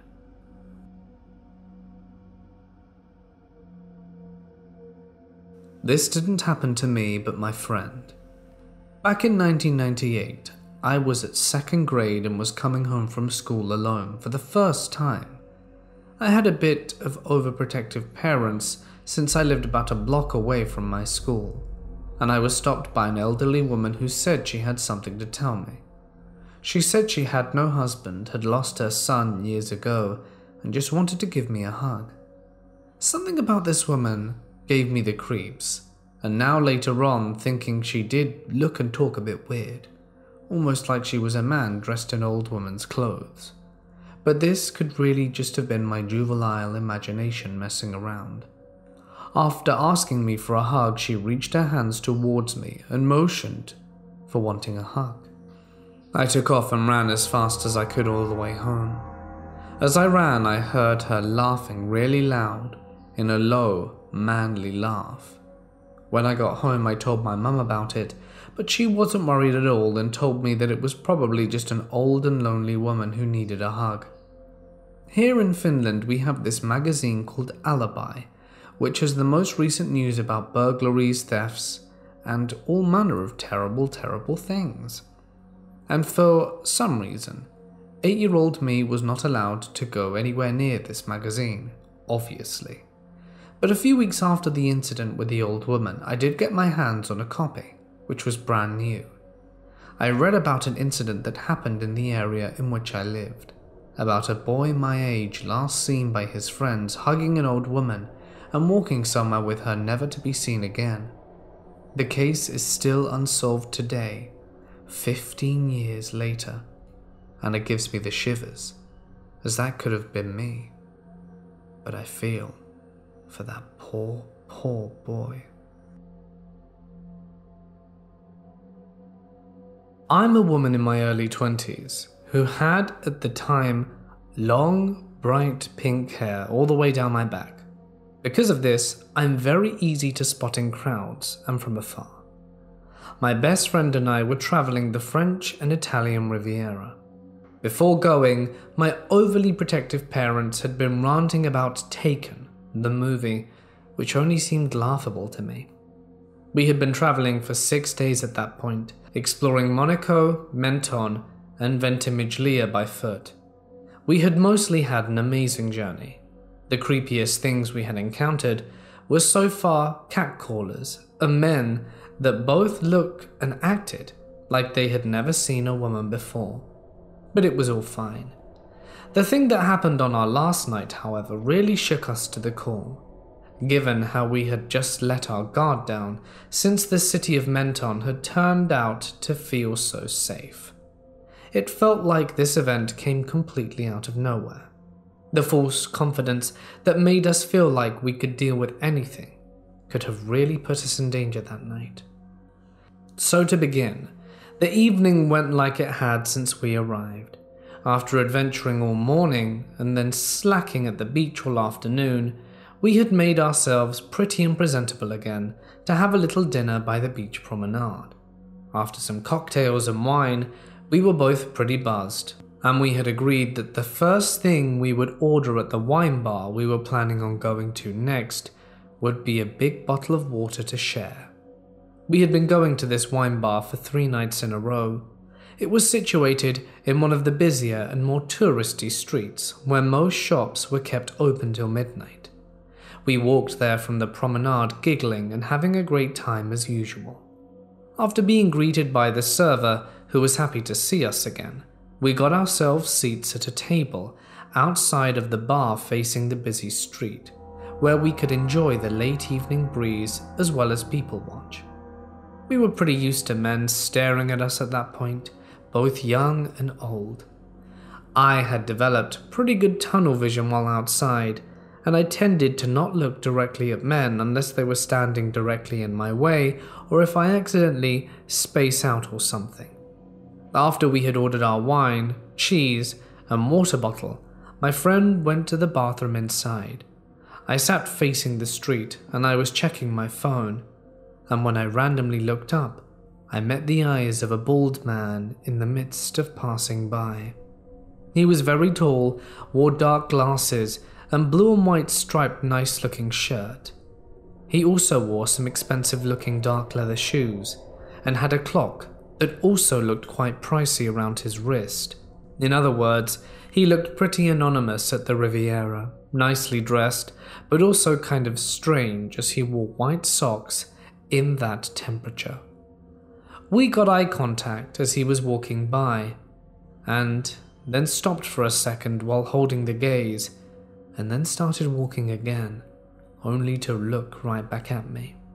Naturally, I looked away, and then he seemingly left, and I did not think any more of it. After my friend had returned from the bathroom, and we had started tasted the different sorts of cheese and Italian prosciuttos, I looked up to see him standing there again, leaning on a wall across the street. Fifteen minutes must have passed, but once again I caught him looking at us with his phone aimed in our direction, held upright, as if he was taking pictures. I started getting the creeps, so I just casually asked my friend, who sat with her back towards him, if she had noticed him before also. She declined, and I tried to explain that he seemed to be lurking at us, but that at least he must have been aware that we'd seen him. Thinking that would be enough to make him lose interest, I told her to act like nothing and just forget about it, while we would continue to enjoy our last night at the Riviera. Every now and then, however, I would catch him staring at us, only to then nonchalantly start texting on his phone or look away. Something just really irked me about how he was trying so hard to pretend he was doing everything else. I finally let my friend know that he was still there, and she started freaking out more visibly than me, turning around all the time very obviously for him to see. The man started pacing around, picking up the phone to his ear without speaking. I could tell there was no light on the screen, and I was starting to become not only uncomfortable but kind of angry too, so I stared directly back at him, just to make goddamn sure that I knew he was watching us. At this point, I picked up my phone irritated, pretended to take pictures of the cheese platter, but actually of him just for proof in case he was trying anything strange. More than an hour had passed at this point, and the tiny doubt that I had that he maybe was just waiting for someone started to diminish. In just an hour, most of the shops and restaurants would be closing, including the wine bar we sat in. He definitely wasn't waiting for anyone and I knew that eventually we would have to leave for the hotel. But what if he were to follow us? What if that's what he was waiting for? Eventually, he walked up the street and had seemed to disappear. I felt relieved, but did not put my guard down yet.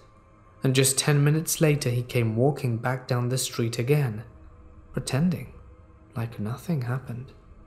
Now we were both starting to get more scared, and we saw how the street became less and less crowded and how shops were starting to close down. The man looked at us from further down the street, and when he seemed to have become aware that we noticed him again, he vanished into a shop, waited for a few minutes, and then came out again without having bought anything, looking at us like before. We were really questioning what to do at this point, as well as what he wanted. As mentioned, we were both pretty buzzed from before, and after a few more wine glasses, my brain could not work as fast as usual. The man then walked further down the street and stood beside an ice cream bar. He was there for 15 minutes without buying anything nor leaving, just occasionally turning around to look at us. We were starting to struggle to keep an eye on him, because as I mentioned, he looked quite anonymous. Me, on the other hand, with my long, bright pink hair, made me only the more visible me and my friends started wondering if we should talk to someone, like the lady in the bar, but feared we would just sound paranoid and weird. As we could no longer see the man, we decided to pay and leave quickly before he returned. If he suddenly appeared, we would just call for the closest group of guys to help us. We began power walking down the street, looking behind us and everywhere in case he would appear. I suddenly felt much more sober due to the stress and decided it would be more smart to take another street to the hotel instead of the lit up and touristy one where we had seen him waiting. After all, he had clearly noticed we were scared, and by all logic, we would follow that street. So we quickly ran down that other street and a few blocks down back to the lit up one. I stopped for a second to catch my breath and looked up the street with the ice cream bar and he was indeed standing there in the middle of the street, looking up towards the wine bar we had just left, kind of walking around to look from other angles. I then knew we had not been paranoid at all, and he had been deliberately waiting for us. He had been so determined he had been waiting for more than two hours. Just this effort seemed too much for a random creep. My friend turned around too and saw him and freaked out. We started running down the street as close to the shops as possible, in front of people so it would block the sight of us if he turned around. It was about a 15 minute walk to our hotel, but we got there so much quicker, always turning around. It honestly felt like the scariest moment of my life. As we started running, I started thinking, but what if he's not alone? What if he had chosen us and had been messaging someone along with our location? Maybe he'd seen us days before going to the same bar and had worked out our schedules. And if so, how long had he been watching us? To say the least, I barely slept that night, and I felt so thankful that I had even noticed him lurking. Perhaps I'm overreacting, but my logic and all the weirdness around this makes me feel like we had just barely escaped something potentially horrifying. The first house that my mum and stepfather bought after they got pregnant with my sister had a few weird things happen. When she got old enough to communicate, she would wake up with a rash on her back crying about the bees on the ceiling. That was pretty much the extent of what happened in the actual house. But we had a detached garage probably 30 feet away from the back door of the house, and the garage had a loft that I decorated and hung out in when I was in my early teens. It started when I was jamming to music one day and thought I heard someone come in. And being rattled through the toolbox downstairs, I shut my music off and called out to no one there. I turned my music back on a little while later, thinking I was hearing a quiet conversation going on as if someone was on the phone. I turned my music back off and called out again to no one. So I turned on my music quieter and swore I could hear some more rattling and someone open and close the door to leave. I packed up my stuff and go into the house to ask around, and nobody has been in the garage all day but me. I stopped hanging out up there.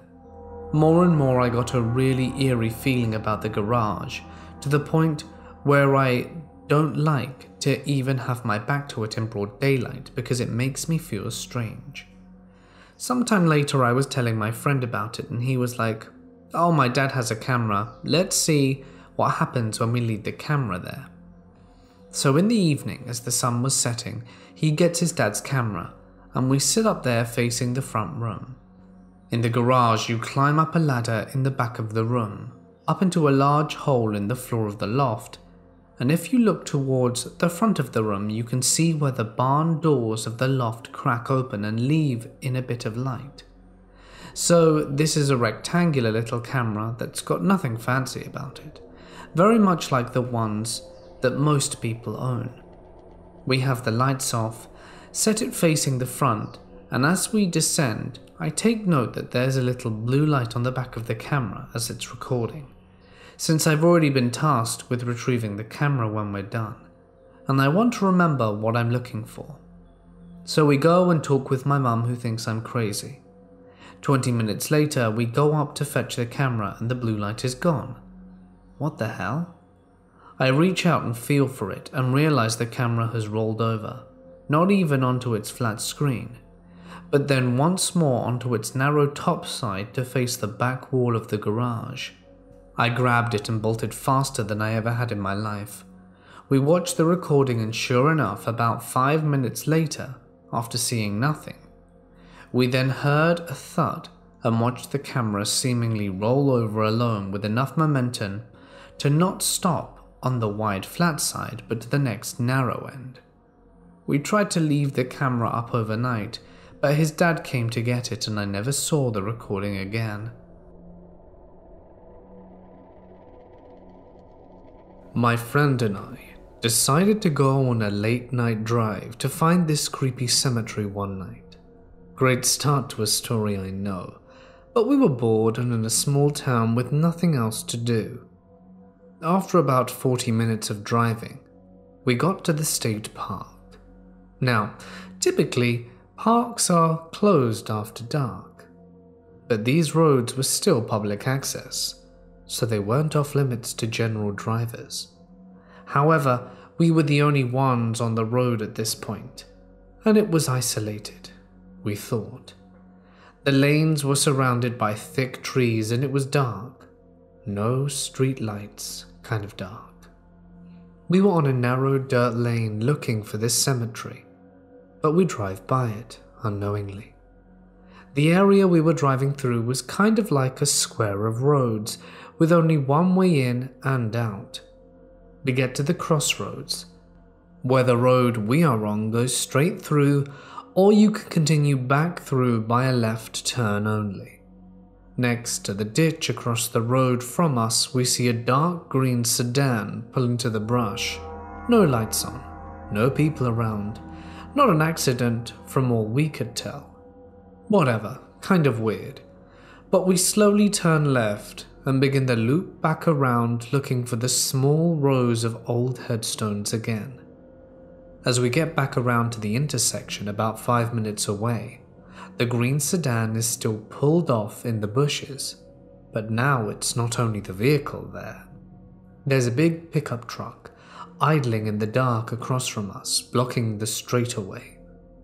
Now, it had to have come from the other direction since no cars passed us or in front or behind us. That was the way we had planned to go. To leave the park since we hadn't found what we had been looking for, but we couldn't pass through. This truck was in the middle of the road, taking up all the space on either side. At first, we were thinking this guy probably got his car stuck and called for help. Then, this truck guy turns on his headlights actually his high beams, and begins revving his engine hard. My friend and I exchange looks, like wonder who's overcompensating for something. And when we turn back, trying to see through the blinding lights, we see a silhouette of a big, bulky man standing in front of the truck, hands on hips, just standing there. We aren't but a car's length and a half away from this guy, and there's nowhere left to go which we know just leads us back around to the same place. We sit there staring at each other for a few moments, trying to decide what to do.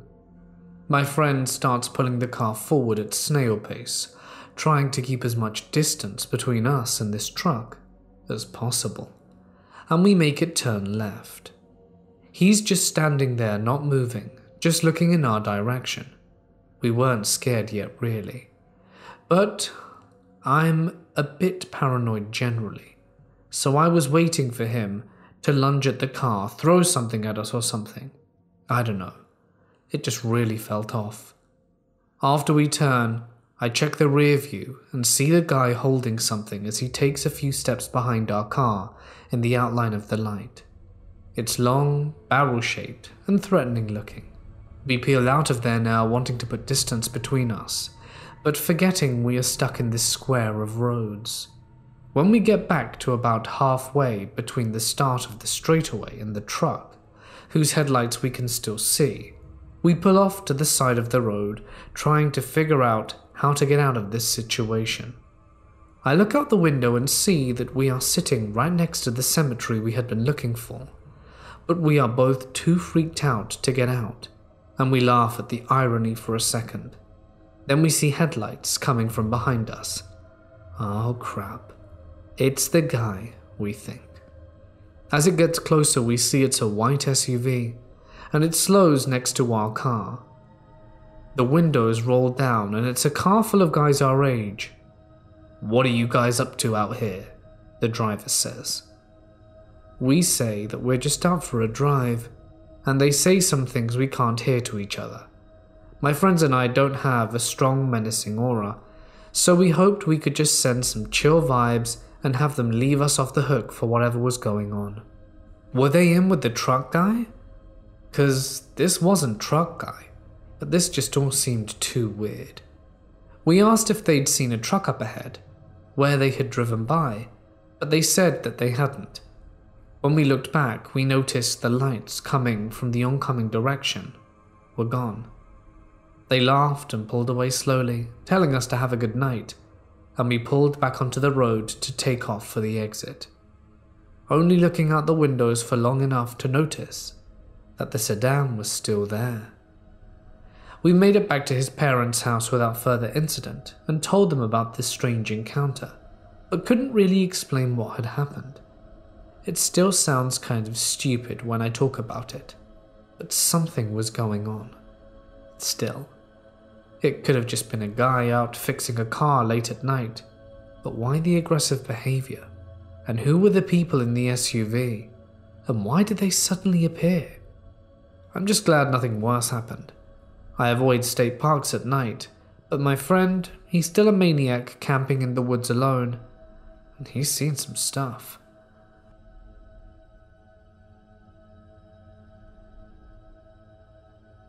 I've been a night shift worker for over 20 years.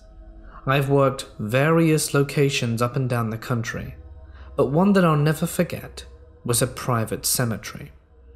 These were people who were old money, had more than enough for someone to protect their house, their gardens, and of course the private cemetery at the back of their property. There was a little guardhouse located near an access road, which was on private property anyway, and I was stationed in this tiny little cubicle and just to walk around the cemetery every hour to make sure there was nothing funny going on. So, this is what I did for about two years. I'd set my alarm, walk out every two hours with my flashlight, walk the same small route which lasted no more than two and a half minutes, and sit my butt down and do whatever it was I was doing at the time. Back then, I usually just listened to the radio, read some magazines, and anything that would help pass the time. By the time the sun came up, someone else would come and take over and look after the cemetery as well. And I believe a gardener would come once a week to make sure it was nice and maintained. This was a family cemetery, of course. The graves were quite spread out, and I think there was nearly 200 years of family members buried on this same small patch of grass. Apparently, it was their aspirations to all be buried in the same area as a family, which is nice in a way. Really impressive tombstones that were always well maintained, made of the top materials, with gold leaf and everything. Pictures on the freshest of graves, really beautiful stuff. By all accounts, a truly lovely graveyard. It's a shame it's private, as I'm sure there are some people out there who would love to see it. In any case, beautiful graveyards isn't what this story is about. You see, when I worked nights, there was one time that something happened that really made me question whether I wanted to keep working there. Spoilers, I quit shortly after. The night in question was about eight years ago. I was on my phone scrolling through Facebook probably, and just waiting for my shift to end. It must have been about 4 am. I was expecting light to come fairly soon, as it was summer, and I was ready to go home, have a shower, and pass out. I look at my alarm, and even though it's a few minutes early, I start making my way round the cemetery. I just look around as always. Nothing has changed. Every leaf is in its place, every blade of grass is still, and every tombstone is the same. But something this time is different. I hear something. It sounds like footsteps coming from behind me. I turn around quickly, my flashlight pointing down the path. But there's nothing. Nothing visible to my eyes, anyway. But the sound, the stomping of boots, it sounds like, is very pronounced and making its way down the path. I shine my flashlight in all directions, and the sound carries on coming my way. By the time it nearly reached me, I legged it all the way to the security house. And I'm pretty sure that I ran right through it. Because not a second into me running did I get hit by a wave of cold. I don't really know how to describe it. It was like I was inhabiting a space that I wasn't meant to be in for a split second. But the moment I kept on running, did it go away, and I kept on going. I didn't carry on my rounds that night. I occasionally peeked out the window just to make sure that I wasn't losing my mind. I didn't think anyone was there, not anyone I could see anyway.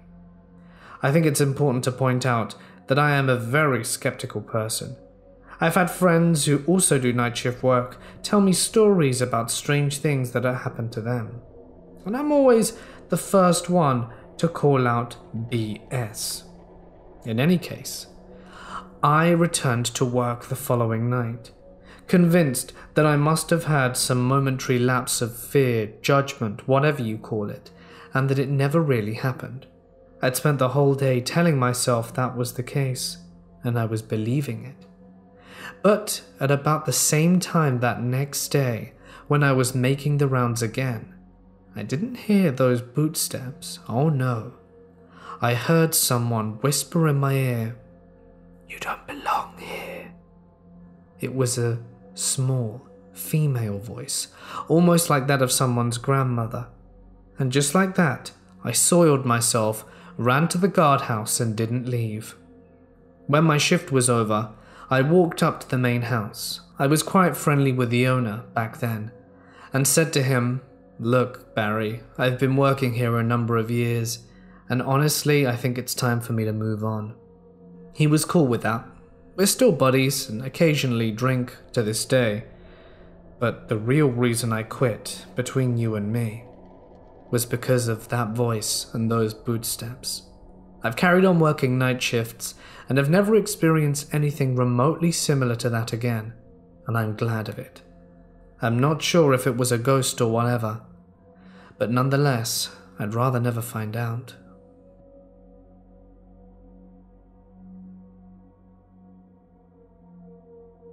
This happened a while ago. I was in a hospital with my parents on the outskirts of a city of a huge campus filled with trees and forest. I had just had minor surgery performed on me.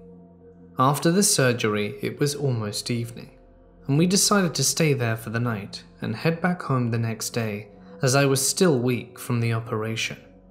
My dad went to search for a nearby hotel, but most hotels near the hospital and the medical college campus were already full by then.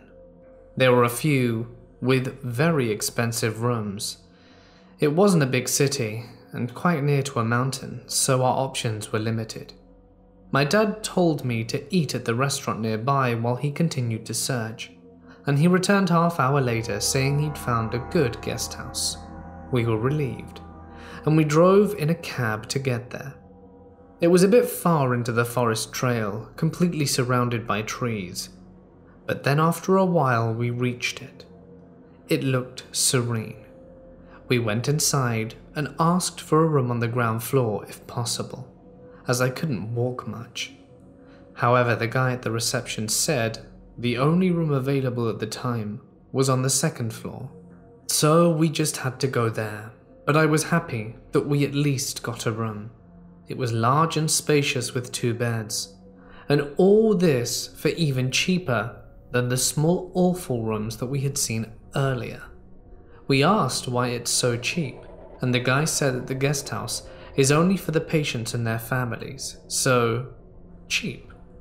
And we were quite happy and settled into the room. Strange goings on started happening from that moment. It was a winter evening, so quite cold, but something weird was going on with the windows. It was a big room, the windows were besides the bathroom in the corner, and there were no buildings, just trees. Quite a hilly area. My dad got up to freshen up, and I told him to close the window while he was going to the bathroom. Half hour or so after, I went to the bathroom and found the windows were still opened. I told my dad and asked if he forget if it was so cold, but my dad said he did. I thought he forgot. We didn't think much of it and closed the window. When we went to have dinner, we went downstairs, but there was no one in the dining hall, just the chef. We asked where the rest of the people were, and he said that most of them had already eaten and gone to bed, but it was only 8 pm. Surprised and a little confused, we ate. The food was surprisingly good, despite the low price we paid, so we were happy. And then things started to get strange. Once we reached our room, my dad realized his phone was missing. We searched everywhere in the room and asked my dad where he had left his phone. He said he'd left it on the bedside table, but it was nowhere to be seen.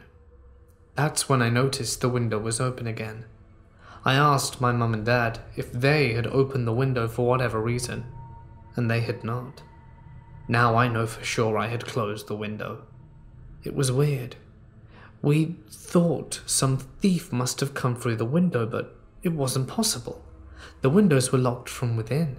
We were on the second floor with just trees around us. Nevertheless, we kept searching for the phone. We were sure as hell it wasn't in the dining hall, because my parents are very compulsive about these things and always check before they leave. But nonetheless, we still went down. When we arrived, we saw no one was there in the dining hall. We searched high and low, and there was no phone. There was no one on the ground floor either, no one at the reception. We assumed everyone must have gone to sleep, but it was barely 8:30 p.m. We wanted to contact someone in the reception, and when we went there, there was no one there. But oddly enough, my dad's phone was below the desk of the reception. We assumed my dad had forgot and left it there when we arrived. But when we got back to our room, my earphones were now gone. I knew I had put them on the bed before leaving for dinner, but now they were nowhere to be found. After a lot of searching, we found them under the bed, deep under. It was strange. I was just relieved that I got them. Then we were chilling for a bit. My parents were chatting, me playing some games on my phone, when suddenly we heard a woman screaming. She was crying in our native language to please not hurt her and leave her alone. We thought a couple was having a fight besides us in one of the rooms. It was very unsettling to hear her cries. Then it suddenly stopped. Me and my dad got up to see what the fuss was all about. When we left the room, we saw no one outside. We thought, let's check if everything is alright. The room beside us was locked, so we went to the next room. It was locked too. We went to the next. Every room on our floor was locked. We got curious. Where did the sound come from? We went to the first floor, and the same thing. They were all locked from the outside. And after going down to the bottom floor, all the rooms there were locked as well.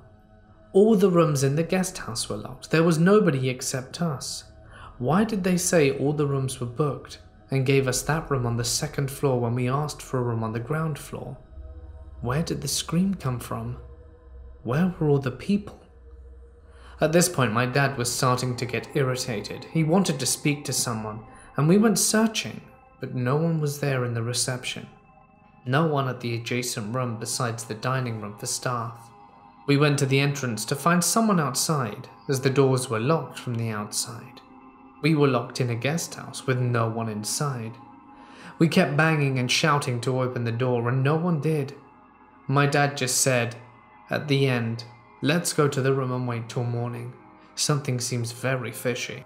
We went back, and while we were there, my mum was reading some texts from a spiritual book. She always has this book with her, and she was quite scared. She said that after she went away, she heard the voice of a woman again. She was laughing like a maniac now. She was scared and began chanting the mantras, hoping no harm will come. As you can imagine, we didn't get a moment's sleep that night. When we woke up in the morning, we grilled the supervisor, and he didn't offer us much explanation. It all seemed rational to them. Turns out that the guy on duty went to sleep for the night in a nearby apartment. They locked all the doors for safety reasons, apparently, because freedom to leave isn't included in the price you pay, apparently, and that if we really wanted to leave, we could have just shouted to the guard. That was the person who was outside, but they ignored us when we tried doing that, so there you go. Apparently, it's all for security to prevent break ins and stuff. In any case, we were just glad to leave that place. It was giving us seriously bad vibes. We hopped in our cab and drove away.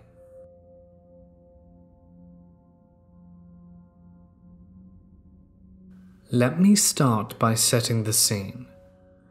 On December 3rd, 2014, my birthday, I'm preparing to leave my office to begin my birthday celebrations when I get called into my boss's office. Chris, I'm sorry to tell you this, on this day especially, but business is bad and we're gonna have to let you go. I'm stunned. I leave the office making a vague remark that I'll collect my stuff in a few days. I jump on the subway to collect my girlfriend, who worked at a human rights law firm. She finished her day and meets me, but inside the usual hugs and kisses, she keeps her distance I know that when she does this, it's because she lost a case, so I make small talk as we hit the street. Stopping suddenly, she turns to me and explains, Sorry, Chris, I can't do this anymore. It's not you, it's me. Before I get a chance to answer, she hails a cab and off she goes. Wow. Birthday. No job, no love of my life, all in the space of two hours. This situation needs alcohol, and badly. I reached the bar where I was meeting my friends for my birthday celebration. I got drunk very quickly. Copious amounts of red wine, chased with beer and shots.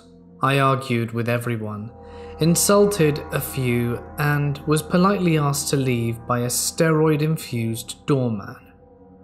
I found myself in the middle of London at midnight, staggering home. By 2 am, I reached halfway to my house when my phone buzzed. A withheld number. In my self pitied filled state, I thought it was my girlfriend. Darling? I ain't your darling, you scumbag. I stood there, looking at my phone. Who is this? You'll find out soon enough. I cursed and staggered another 90 minutes home. My legs had had enough. I hit the floor and almost crawled into bed and passed out. The next afternoon, I woke up, remembered in fits and starts what had happened. I got really angry, then began the process of finding a new job and extracting my belongings from my old job and my ex girlfriend. Then, just before midnight, my phone rings, another withheld number. Uh, Amanda? This isn't her, scumbag. Who is this? You'll know soon enough. I work as a salesman in technology, raising money for startups, so I have a wide and deep network, but I'm also very private. I have a small family and few trusted friends. I rang around and asked if anyone was getting calls. No one. This was the start of a very exhausting six weeks. The calls would come in at night, sometimes early evening, sometimes early morning. I would answer the ones in the evening, as a lot of my contacts and clients used withheld numbers. The ones in the morning would just go to voicemail. At first, it was the same few words, the word scumbag, a few cusses added for good measure, and the voice was male, but sometimes a female would be first, and then it would be passed to the male. I recorded the voicemails and played them at the local police, but as there was no direct threat, or I could not identify the person, sadly, there was very little that they could do. Eventually, things came to a head when I started getting emails. Watch out for LinkedIn contact info, folks, stating in graphic detail what they were going to do to me. This time, the police could do a bit more about their tracing, but they couldn't find a location in the UK. The scum were using anonymous email tech. Finally, one evening, in the middle of snow-filled January at about 8:34 in the evening, the phone rings, another withheld number and I answer as I'm waiting for clients to confirm a new assignment. Hello, scumbag. Did you get the emails? Yeah, I did. And? And I think you really should quit while you're ahead. I spoke very calmly. Hey, scumbag. I ain't finished with you yet. I cut my stalker off and explained clearly. Listen, my soon to be spending his short ass life in an unbelievably incredible amount of pain. Let me tell you what's going to happen now. Instead of you harassing me, I'm going to hunt you, and then I'm going to capture you and your girl, and then I'm going to cook your girl as part of a special enchilada dish. Then we're going to eat her and wash her down with a nice Argentinian red. Then, my friend, I'm going to make a dessert out of you. You see, my amateur stalker friend, I'm going to go full Hannibal Lecter on you. Now, the only way to stop these culinary adventures of mine is to stop your ramblings right now. So make a decision. There was a long silence, then a squeak. Sorry. And then the line cut. I haven't heard from my would be stalker friend in a long time. Love to have you over for dinner. I'll even provide the wine. In any case, let's not meet.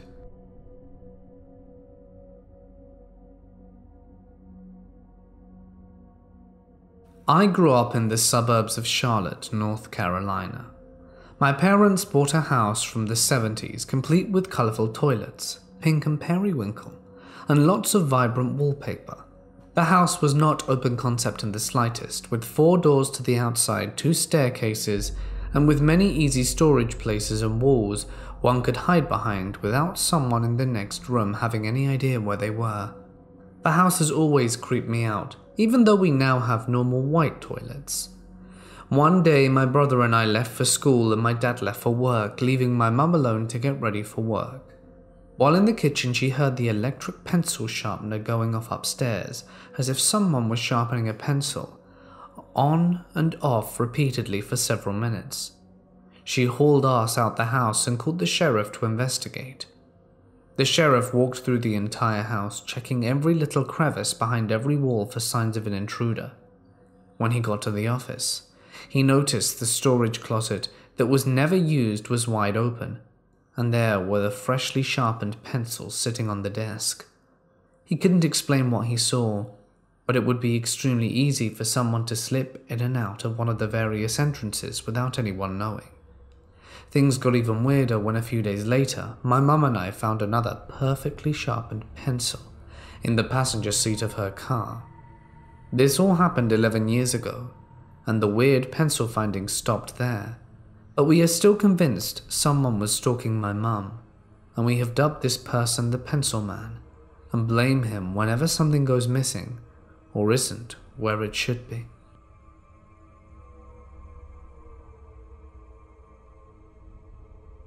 This just happened in October and was the first encounter I've ever had with something paranormal during the day.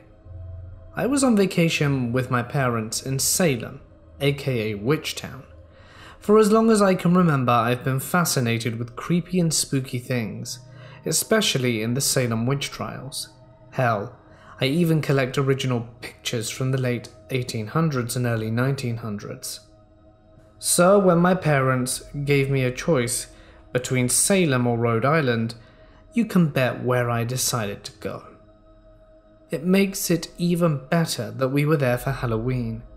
Our original plan was for the week of Halloween, since where we were staying had rooms available. But my dad and I were also going to a concert on November 1st, and we didn't want to deal with the rush to get home on time. I meticulously planned this vacation out by the hour because there were so many places I wanted to visit. One of the places on the itinerary was the Howard Street Cemetery. Originally, I wanted to go to the old Burying Point Cemetery, but it was closed for renovations. For those of you who aren't aware, the Howard Street Cemetery was reportedly the field where Giles Corey was pressed to death during the witch trials. Once we actually got there, I was focused on taking pictures of all the gravestones. I tend to gravitate towards the older or more broken ones, as well as those covered in debris. If I find one like that, I'll usually brush away whatever it is, because I feel like whoever is buried there deserves a little courtesy.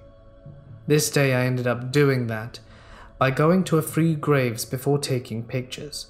But when my parents and I were about to leave, I felt something grab my arm. Just so that you're aware, I don't like being touched for multiple reasons. As I was taking pictures, I noticed another woman walk into the cemetery, so I assumed it was her grabbing me. But when I turned around, there was no one there. Even the area around the cemetery was vacant except for the three of us. My parents were in front of me as well, and this grab came from behind, so it couldn't have been them. My mum asked if I was okay, and I explained what happened and told her I thought it was a woman, the one who walked in earlier. She said she left a while ago. I was confused because my mum was basically dragging me out of the cemetery, because she doesn't mess with the occult or anything dealing with spirits. The grab wasn't even forceful or angry, it was more gentle, as if they wanted me to stay. I've been trying to come up with a theory as to how this could have happened, and I have a few.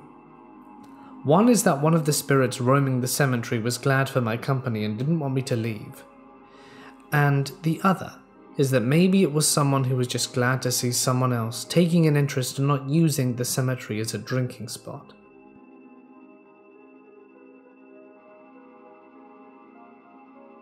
Last year, my 14 year old cousin took their own life which was heartbreaking for the entirety of my family.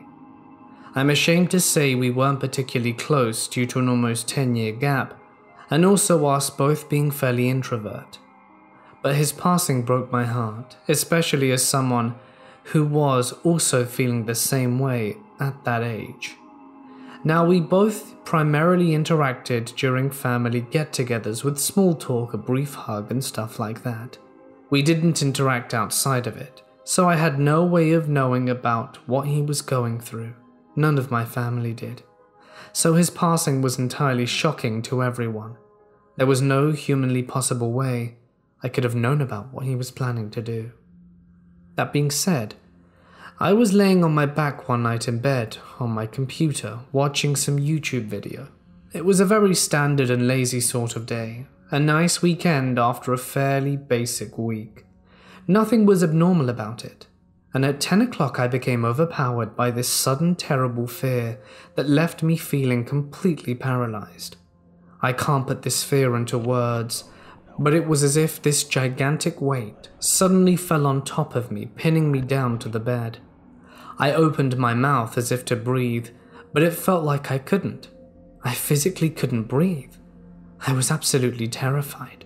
As a healthy woman, I have never had any variety of health defects or concerns. I've had sleep paralysis in the past, but nothing like this. As I was laying in bed, a single sentence circulated in my head I don't want to go. It just kept repeating. I managed ragged breaths in the midst of this paralyzing ordeal, and after a few minutes, which felt like forever, I was able to sit up and breathe normally again. But I was chilled to the bone, with absolute terror and heartache. I couldn't explain what happened, and I didn't sleep well that night. But I woke up fairly fine. I tried not to think about what happened to me, so I carried on with the day as normal. But then during the afternoon, my mum came home from errand running and told me the news. My cousin had passed the day before. I asked her when it happened, and she told me that he left the house around 6 to go for a walk and was found around midnight. Remembering that night still makes me feel cold. I've had premonitions in the past as well as encounters with ghosts, but never anything like this.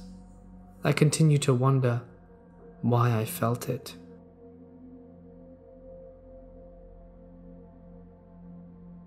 This happened some years ago. When I had the iPhone 4S, I was laying in bed when I received a phone call. I forget who exactly it was or what exactly they claimed to be offering, but it was very obviously a scam of some sort. Well, not obviously enough. This lady was asking me for various details of personal information, which I was giving for some reason. I believe I've read about how people are willing to give up all sorts of information as long as they are asked by someone with the illusion of power or something like that. I was readily handing out my name, email address, confirming my phone number, and it wasn't until she asked for my home address that my common sense kicked in.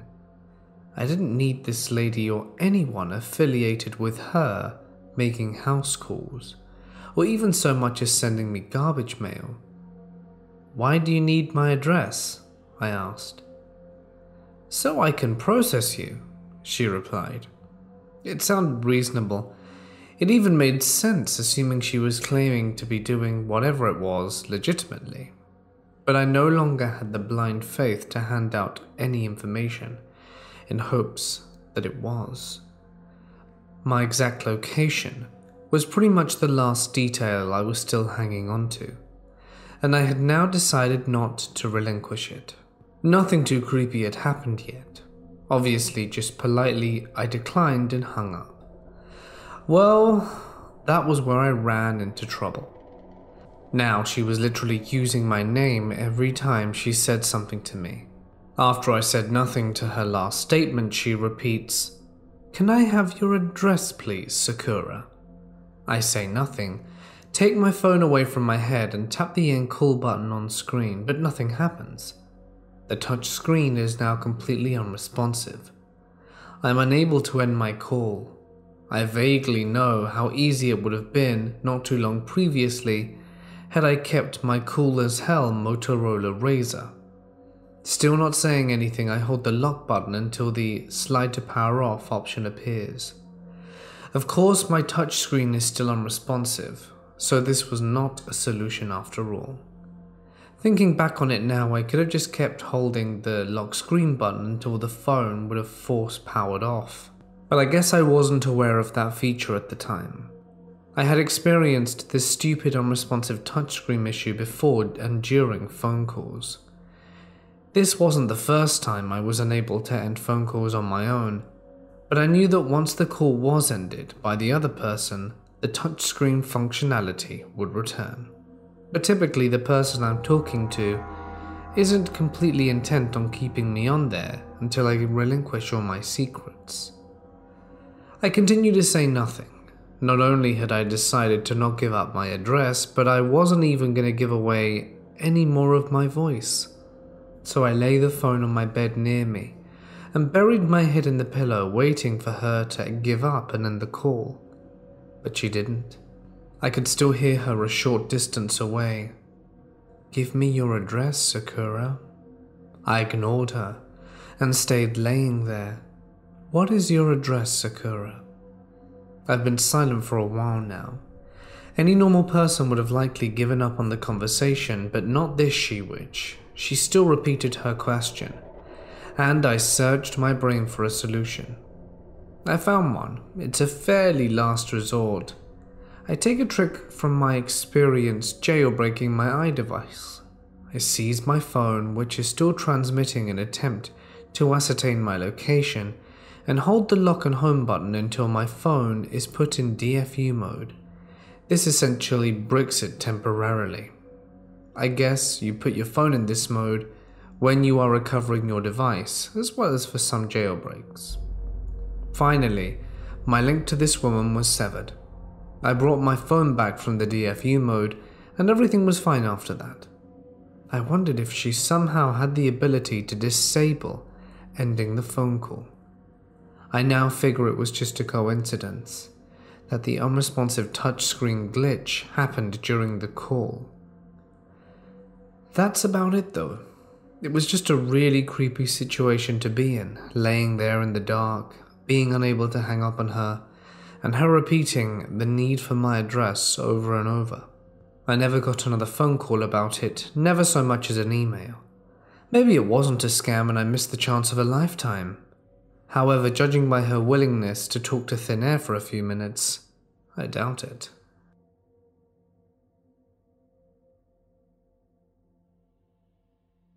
My best friend and I went to see Star Wars Episode 7 with her cute brother. They were super close, and eventually we got to all hanging out as much as we could. We were all dressed up tastefully as grown adults. My bestie toted a Jedi look. Her brother pulled off a solid Han Solo and I pulled off a close and well done Rey, minus the hair. None of us broke bank. We went to the theatre and had a blast. It was the first or second night of showing, so it was slammed, and we probably got out just before midnight. I carpooled back to my bestie's apartment where I took my car to go home, as I live about 20 minutes from her place. It was about a quarter past midnight when it happened. I was about five minutes from her house when, within a split second of registering, a white blob came from nowhere and slammed into my windshield. Whatever it was splashed across the entire windshield because it was so large. For some reason, the lights were off for that section of the street, the only real lighting offered by the vibrant gas station lighting a minute back. Shaken up, I couldn't see through my windshield but I was afraid to stop, and I couldn't see to turn around and get to the well gas station. The best option I had was to crawl slowly and prayed I hit nothing. I was coming up to a cement median, so I used that as a guide through my driver window. The windshield wiped enough after a solid minute or two of running the wipers continuously. I hit the red stoplight at the end of the strip, where I promptly texted my bestie that I'd been hit by something that impacted my vision, where she promptly offered to send her brother right away. The white stuff was cleared off my windshield significantly better, so I was okay driving home. Because of where I was and the fact the light was out, there were no cameras. I didn't think of calling the police, or that it could have done any good. When the blob came out of nowhere, I couldn't remember if I was by any vehicles or not. I was so tired from spending the day with them and getting out of that movie late, to where I still don't know half of what happened. I know it took a few weeks for some of those spots to wash off the glass. I told my mum in the morning who freaked out and told me that I should have called the cops. Apparently, when the windshield fluid was cleaning the white stuff off my window, it actually made it worse. This was an ongoing trend for gang initiations to do things like this to victims. I called them and logged a report, and roughly when it happened, but never heard from them again. Another tactic was laced paper with narcotics that make you pass out from touching it. In any case, I learnt my lesson. Always call the police when something weird happens to you. Oh, and if you get hit with white stuff, do not use the windshield fluid on it.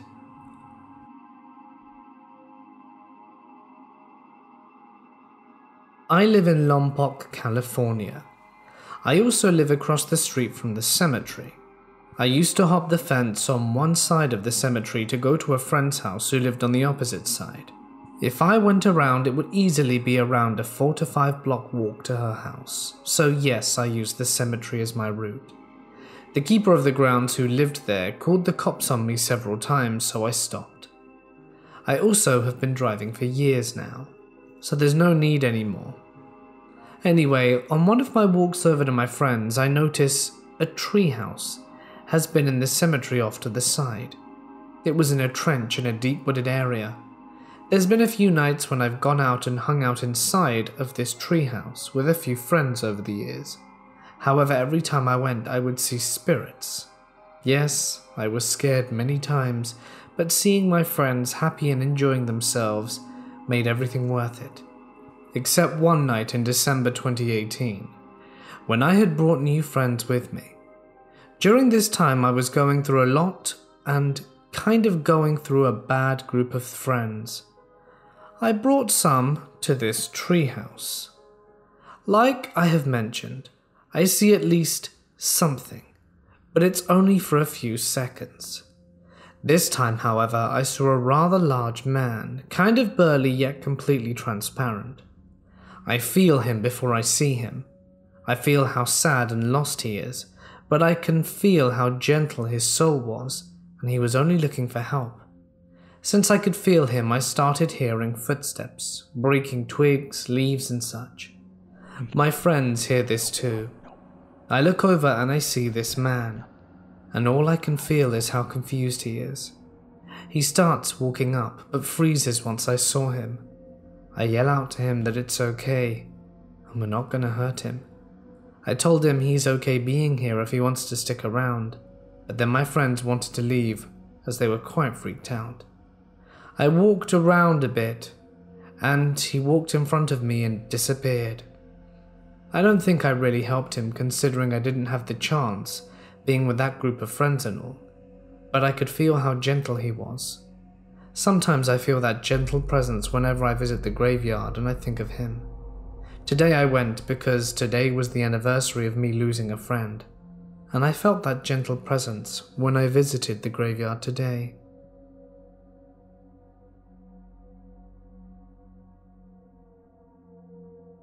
My house, which I rent, has a ground floor and two more floors, so three in total. I was getting ready to go out, and I went to the first floor, in my room to get my makeup. I went to the second floor in my flatmate's room to do my makeup there. I go back to my room about 45 minutes later, and I see three of my purses on the floor, and the shoulder handle has been cut on two of them and a little bit on the third one. Both purses are cut in the same way, in the same spots. I start freaking out a bit because no one was in the house except me and my flatmate, and we've been living together upstairs the whole time. In the living room, which is on the ground floor, we had left the back window open so the air could ventilate, and we had had some people over the night before. The door in the living room leads to a tiny garden which is protected by a tall fence which is more protected by a wired fence, and I doubt anyone could have just climbed it and come in, cut purses, take no money or cards from either of them, and then leave.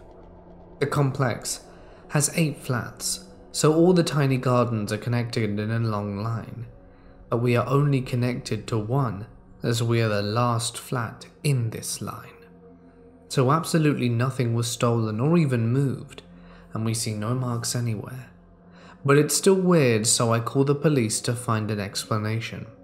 They come, checked the evidence. There was a wet spot on the carpet in a room about 5 centimeters long, and how the purses are cut. I thought it was a fox that went in the house, went upstairs, ate the bags, and left, based on facts that a fox tried to enter the living room one time in the same way a few weeks ago. The police said it was not an animal cut. It was most probably a knife cut and asked if we had any problems with anyone like an ex or something. We do not. Most people do not even know where I live, and especially how to get to one's room, as the house is pretty complicated. The stairs in the house are metal and spiraled, and you basically hear it from every spot in the house if someone is on the stairs. Police call forensics to ask for advice, and they say they do not know what they could do as they can't take fingerprints off the bags because of the texture, and the wet spot is apparently dry now. Police say they've never heard of anything like it, and it makes no sense. They marked it off as a burglary and left. I have to mention that the night to morning before, we had the music pretty loud, and one neighbor texted us very angrily to stop it. I mean, he knows the house, as we have the same structure. He was the only one with access, but he's like 75 years old, and all the encounters we had were really nice so far. So we were left with something or someone that comes to the house through the back garden that's protected by a very high wall and wide fence. Comes through the living room, passes by the PS4, TV, expensive speakers, goes onto the hallway, passes very expensive shoes, goes up the stairs, enters a bedroom, cuts the handle to the purses, doesn't take anything, and then just leaves. I slept in my flatmate's room that night, and today I went into my room to clean it up, and I found one of the missing handle pieces in my bed, under the blanket. What the hell is going on? I have no explanation for any of this, and simply wish I did.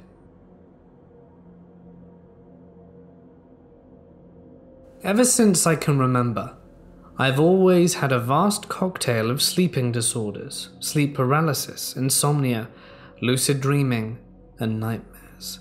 But lately I've been having something odd. A few years ago, I started noticing that my dreams began getting more and more bizarre as time went by and soon I started noticing small details in my dreams that came true the very next day. I would dream my friend in a red shirt. The next day she had one. I dreamed about a car crash. The next day I would see a car crash in the news. Usually very mundane in general. It didn't really freak me out much because I thought this is just regular day to day stuff and is a coincidence. But that's when things started to change. Two years ago, I went with my family to America for the first time. I was really excited to see Disney World, Universal, and buy stuff from Hot Topic. But once there, I just felt very hollow. I guess I couldn't enjoy the trip. One day I woke up feeling awful, told my sister something horrible probably was about to happen, and less than half hour later my grandmother passed, and the feeling of dread left me. This started happening more and more often. I would dream about specific situations and they would come true the very next day. And this time they were not as mundane or common as before. I once had a dream where I saw an old friend from primary school. I hadn't seen or heard from her in 10 years, and the next day she appeared at my job. I'm just kind of starting to feel stuff before it happens. Has anyone else ever experienced this? Can I trust these feelings? I usually don't believe in anything that cannot be proven by science, but something tells me I have to believe in this.